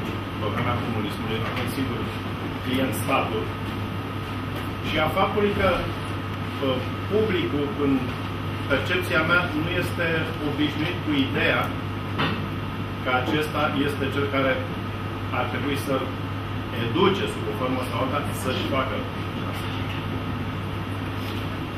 Da, e o problemă foarte importantă pe care n-am, într-adevăr, n-am atins-o. Nu știu ce a spus Radio Găila, îmi pare rău, nu uh, n-am nicio vină. Uh, da, deci uh, aceste lucruri sunt într-adevăr posibile într-o anumită măsură și uh, din lipsa unor, nu atât unor legi, pentru că legile cât de cât există, aplicarea lor e nulă. Uh, ori asta este un fenomen mult mai, mult mai general și îl vedem și în București. Nu există totuși niște legi uh, urbanistice, dar se întâmplă toate dezastrele pe care le, uh, le vedem.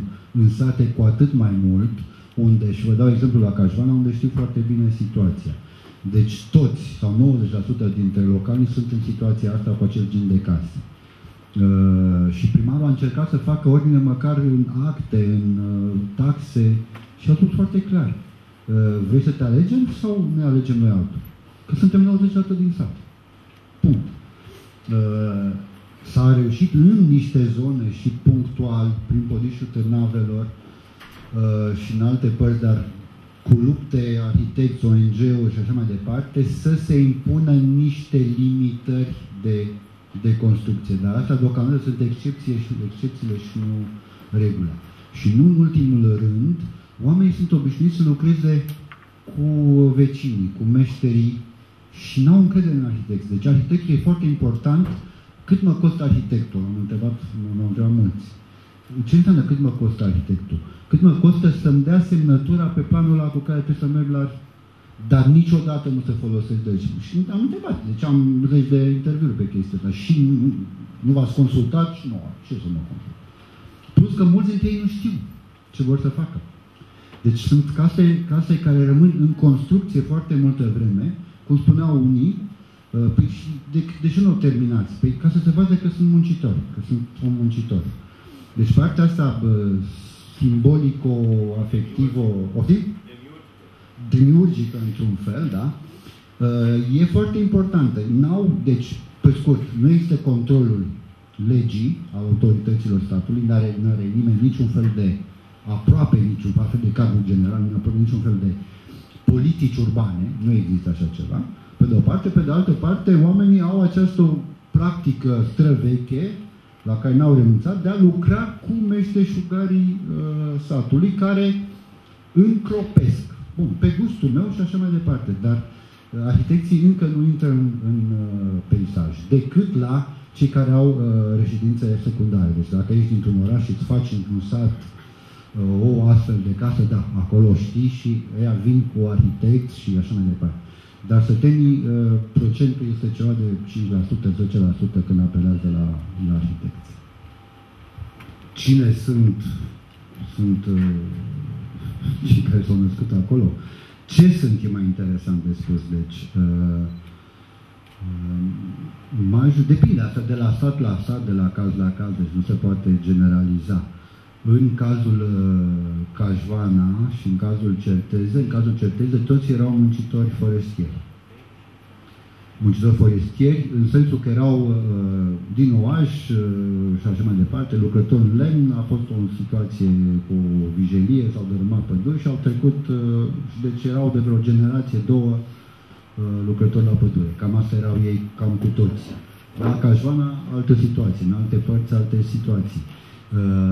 Uh, majoritatea însă sunt în acte uh, și asta fac, din asta trăiesc uh, până pleacă în străinătate agricultori, țărani. Adică trăiesc, sunt înscriși ca în populația activă în agricultură, deci fac parte din țărănină, dar n-au cum să trăiască din așa ceva.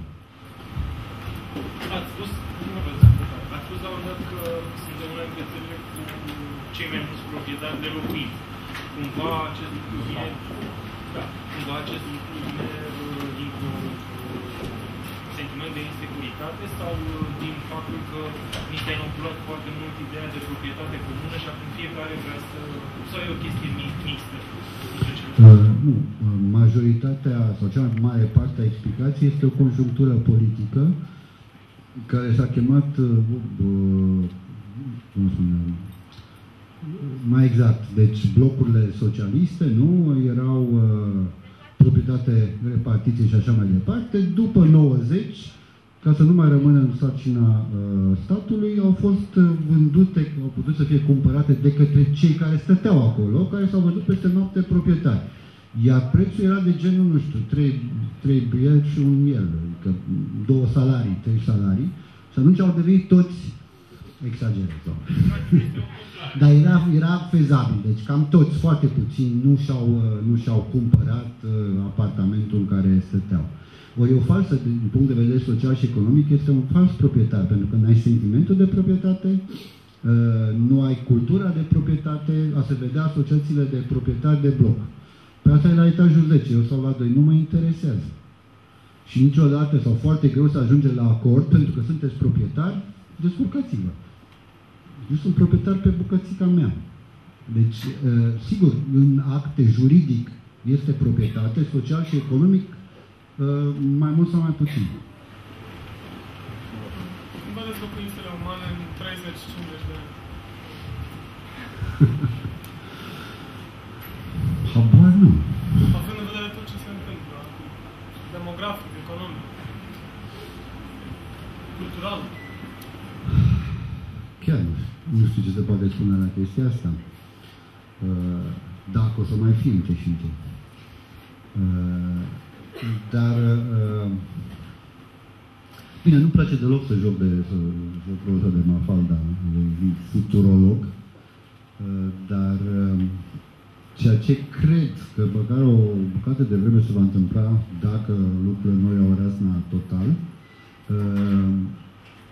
uh, acel gen de stil uh, rustic pe care l-am uh, arătat va prinde, va avea un, uh, cum, o dezvoltare mult mai, mai largă, în sensul unor construcții de care mimează măcar întoarcerea la natură, la uh, o viață mai simplă, mai sănătoasă, mai la țară, mai ceea ce uneori se cheamă downshifting, nu? Deci mă retrag din agitația orașului undeva mai mai rustic. Deci aș pune sub această etichetă de rustic mult mai larg decât, decât ceea ce ați văzut, că asta e un caz punctual cu niște țărani din niște sate. Dar acel gen de locuire uh, prinde deja din ce în ce mai mult și cred că va fi o, o tendință din ce în ce mai, uh, mai accentuată, doar că bă, în momentul în care toată lumea ne-a mutat la țară, ar fi exact uh, ar fi imposibil întâi și întâi și s-ar termina foarte repede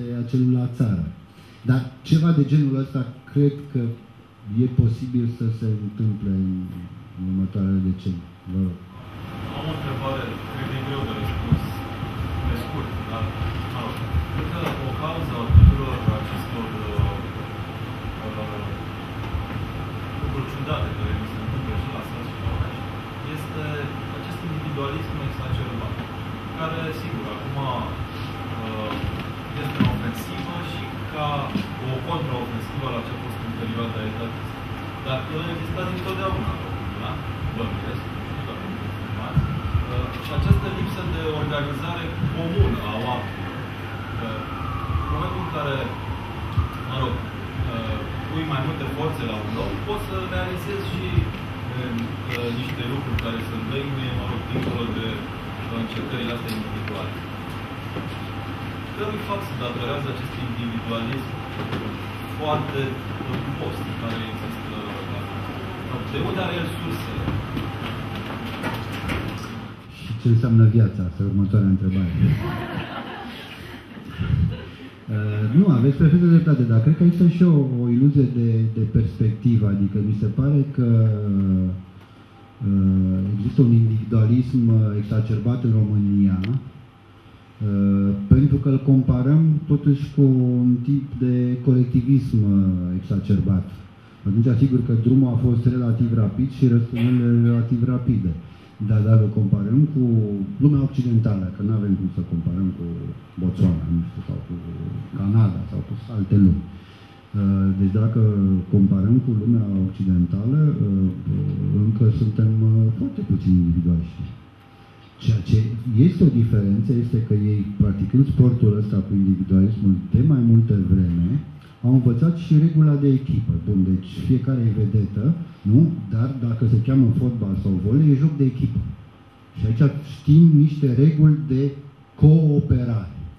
E, ori la noi cooperarea care era stătească comunitaristă s-a destrămat, dar cealaltă asociativă, deci pe interes comun, încă nu ne împiedicăm. Aș vrea să lucrez cu tine, dar nu prea știu și oricum azi n-am timp. Dacă poate mâine. Deci nu, nu știm regula jocului asociativ. Uh, pentru că nu e același lucru. Comunitarismul de tip uh, țărănesc cu asociativul, deci asociativitatea presupune indivizi și individualismul conștient de, uh, de sine, dar și conștient și de limitele, de interesul meu. Deci ce se cheamă spațiu public, nu? Deci este interesul comun ca această chestie să funcționeze. Este interesul nostru al tuturor ca, nu știu, mijloacele de transport comun să fie comune și să meargă. Uh, și pentru asta cu toții facem ceva în interesul nostru, în interesul nostru comun. Uh, și dau un exemplu și să închei, că vin, afară, ca să mă întorc să ilustrez ce ați întrebat dumneavoastră în spațiu locativ. Uh, Băneasa, vile, uh, și-au construit vilele oamenii și încă, ca de obicei, nu era infrastructură, infrastructura se face la sfârșit, nu existau străzi, deci fiecare și-a făcut casa cam pe unde știa care lotul și și-au pins uh, gardul mai cu jumătate de metru mai încolo. Ei, toți au făcut cam același lucru, drept care, când s-a tras strada, strada a rămas foarte mică. Drept care, toți la cele vile au mașini mari, care nu încăpeau pe strada cea mică. Dar nici unul nu și-a dărâmat gardul sau să-și tragă înapoi jumătate de metru gardul ca să intre cu propria lui mașină mare. Și dărâmătul. De care doi ani de zile nu puteau lăsa un, un kilometru toți mașinile și veneau pe jos prin noroaie în vilele lor cele frumoase.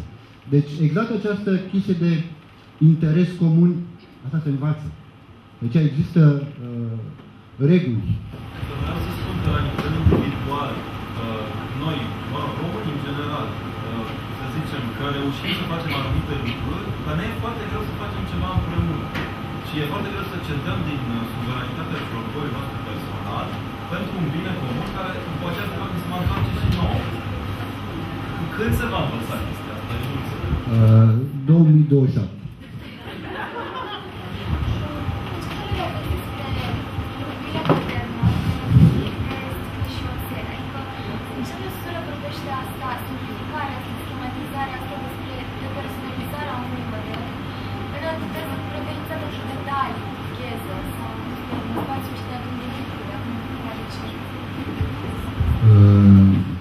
Ați folosit un termen cam dur de alienare.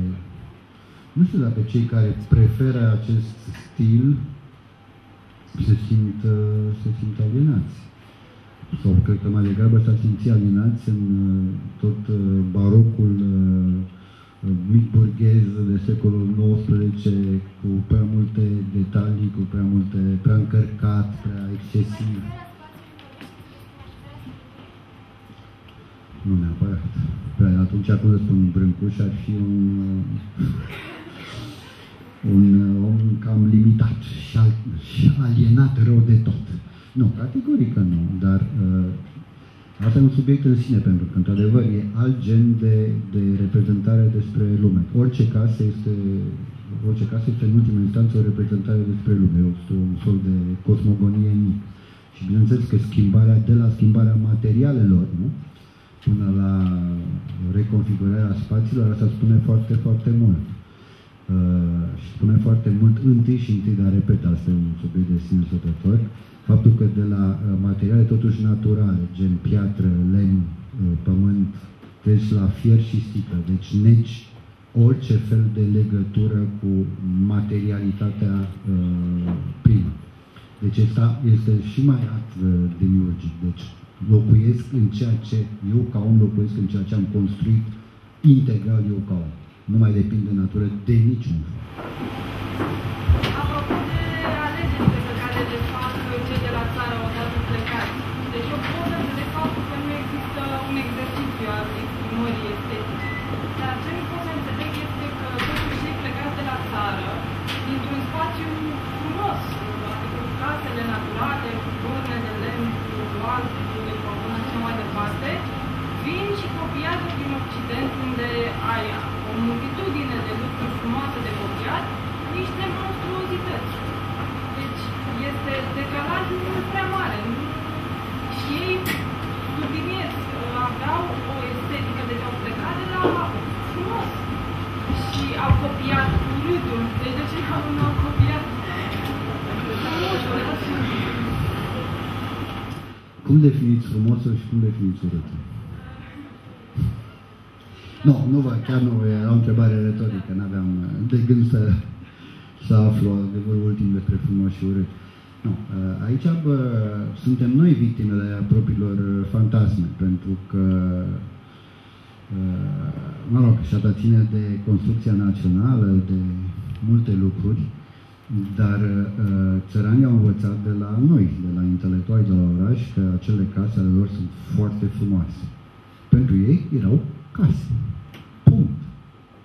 Uh, și mai e și o parte perversă, mă scuzați. Uh, eu ador căsuțele alea mici, albe, cu o singură cameră, că de acolo să vă stea alții nu. Uh, și ca să spui, uh, domnul Țăran, uh, eu s-ar putea să trec, uh, anul ăsta n-am timp, dar la anul sigur trec să fac Paștele la Matale. Te rog, păstrează casa asta, că e atât de frumoasă. Nu credeți că e puțină ipocrizie?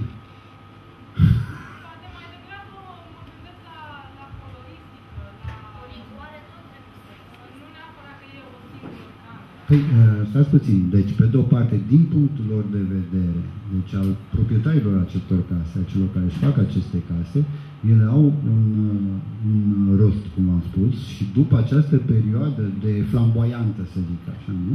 De a și încheiat cu stilul rustic care e mult mai redus, în care preferințele pentru culori, toate sunt, deci asta sunt date statistice, crem, bej, mă rog, pasteluri și așa mai departe. Deci această, acest lucru foarte, că de asta se cheamă făloase, nu? deci foarte strigător. Păi asta era uh, intenția, să strige. Iată ce am reușit. Bun, au reușit, uf, s-au calmat, și acum putem să discutăm altceva, dar uh, nu e niciun fel de estetică aici. Este o chestie absolut, uh, cum să spun, de, de demnitate în ultima instanță și nu trebuie tratată în termeni moral sau uh, estetici. Pe de parte, unde aveți perfectă dreptate este că uh, peste tot unde această estetică se păstrează, unde se păstrează sau se refac anumite stiluri locale, Uh, să nu vă imaginați că populația locală, rurală, este cea care a inițiat acest lucru. Sunt arhitecți, sunt uh, uh, autoritățile locale și așa mai departe, care inițiază politici urbane, care inițiază politici de, de construcție, uh, care dau beneficii dacă îți păstrezi, cum s-a întâmplat și la noi în câteva sate din Podișul Târnavei, dacă uh, discuția arabă uh, mă costă mult mai mult uh, șița decât uh, limba. Bun, cât costă limba? 10 lei. Șița cât 15. Bun. Restul, între diferența între 10 și 5, plătim noi comunitatea locală. Dar îți faci și șița. Cum vrei tu, deci nu poți nici să impui omului tot ce să facă, dar poți să impui cum să nu facă. Nu? Ori asta trebuie construit.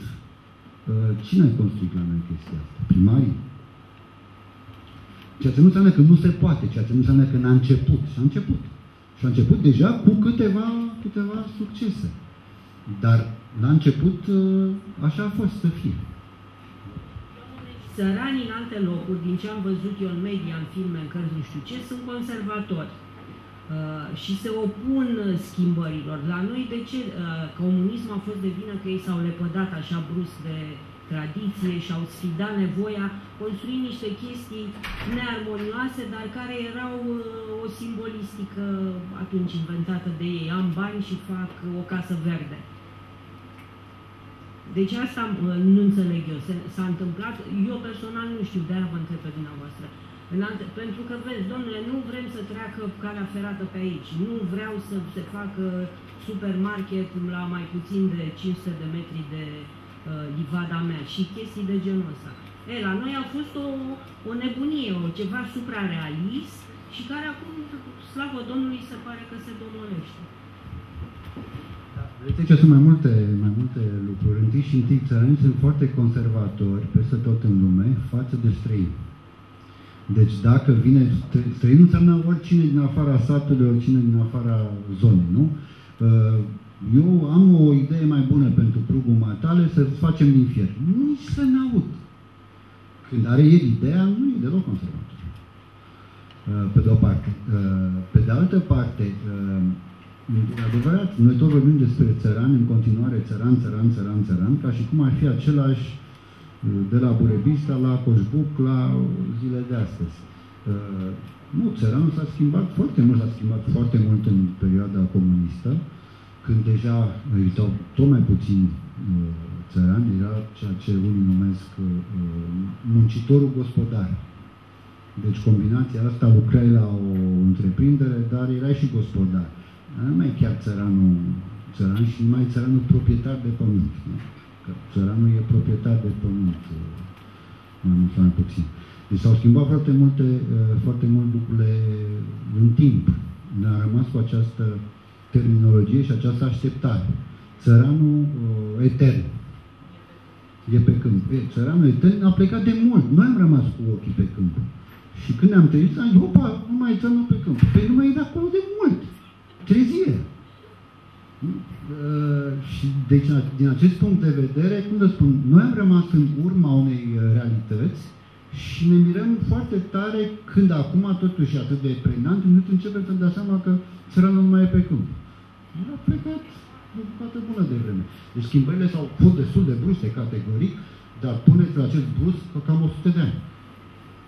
Și ultimul lucru, ceea ce am încercat să sugerez, de același lucru se întâmplă în măsuri diferite și în moduri diferite, în Bulgaria, în Albania, în Serbia, în Ungaria. Deci să nu vă imaginați că românul, știți dacă românul pe mine mă, mă... Deci, în primul rând că nu este românul și doi, că român e și om ca tot omul, adică să lăsăm să doarmă liniștit. Vă rog.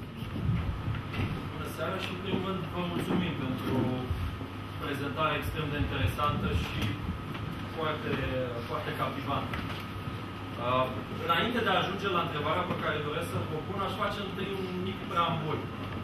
Țăranilor români aduși cu forța în, uh, în oraș, urbanizați într-un mod forțat, uh, scoși din, uh, uh din uh, matricea lor de valori, din, din acel cadru, aduși în, uh, în blocurile uh, comuniste, pentru că, uh, sigur, economia românească avea nevoie de forță de muncă. Și în acest fel, ei își manifestau inadecvare la modernitate. O modernitate impusă și forțată. Prin faptul că nu se puteau adapta și năștea manifestări sociale de natură infracțională. Sigur, nu e în același registru, dar o posibilă explicație pentru mine și poate dumneavoastră ne-ați putea detalia. Uh, aceste forme, uneori oribile de arhitectură, să fie de fapt în ultimă instanță nu neapărat un, o lipsă de cultură estetică. Țăranul român are, are o cultură estetică puluitoare. Cât eu, și cel puțin n-aș, n-aș termina prelegerea noastră într-un mod atât de Uh, pesimist că țăranul român nu mai e. Eu, eu personal îl regăsesc în diferite forme, în diferite locuri, uneori mai puțin vizibile. Dar să fie aceste manifestări uh, sau aceste forme arhitecturale tot o formă de inadecvare la o modernitate care se petrece într-un mod foarte rapid și pe care nu poate fi integrată în păcare naturală? Uh, bun, pentru prima parte, ca să de la una la alta cu criminalitate și așa mai departe și inadecvare la modernitate. Vă dau o singură expresie pe care am auzit-o în repetate rânduri la Snagov, unde uh, Snagov sat, deci toată zona aia, care într-adevăr a fost un sat, într-adevăr, uh, ras și cam singur. Uh, și unde exact, exista expresia a murit de bloc. Ce a pățit Alianța? Păi a murit de bloc. Cum mor de cancer, de pneumonie, de... A murit de bloc, adică era normal. Au murit totul la bloc și a murit din această boală care se chema a murit de bloc. Partea a doua, cum să spun, uh, oribilități, am auzit de multe această chestie. Îmi pare rău.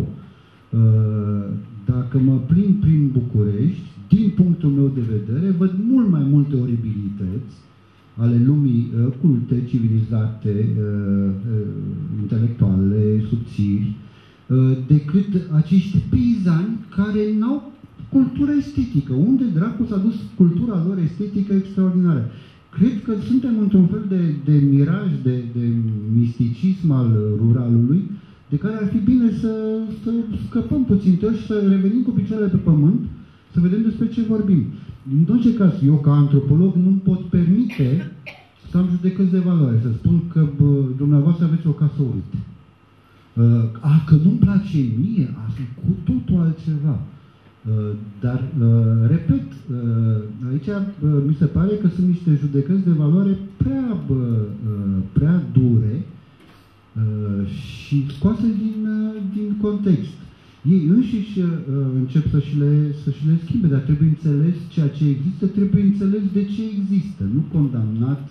Cum spun, e ca și la doctor, nu? Adică bă, Uh, nu îl întreb pe pacient de ce a stat uh, trei ani de zile și a venit în ultimul hal și zice ești inconștient? Eu nu tratez uh, că ești inconștient. Așa te face? Nu, îl tratez, sigur, după aceea vezi tu ce faci, dar ca să închei cu asta, că îi dau afară pe urmă proprietarii spațiului, este o, un discurs intelectual foarte răspândit, ca să nu spun aproape uh, general, care e un termen de judecăți de valoare uh, despre, uh, despre rural și în termen de, cum să spun, sedusă și abandonat. Sedusă și abandonat, adică țăranul pe care l-am idealizat 200 de ani, noi, nu el, atenție, acum nu mai seamănă, nu cu el, cu el seamănă. Nu mai seamănă cu imaginea noastră. Cine de vină? El. Ei mai, Doamne iartă-mă. Deci haideți să, bă, să închei și o care Breanu. Domnilor, ă, nu cunoașteți țăranul român. Vă mulțumesc că altfel vine țăranul clubului și ne mulțumesc.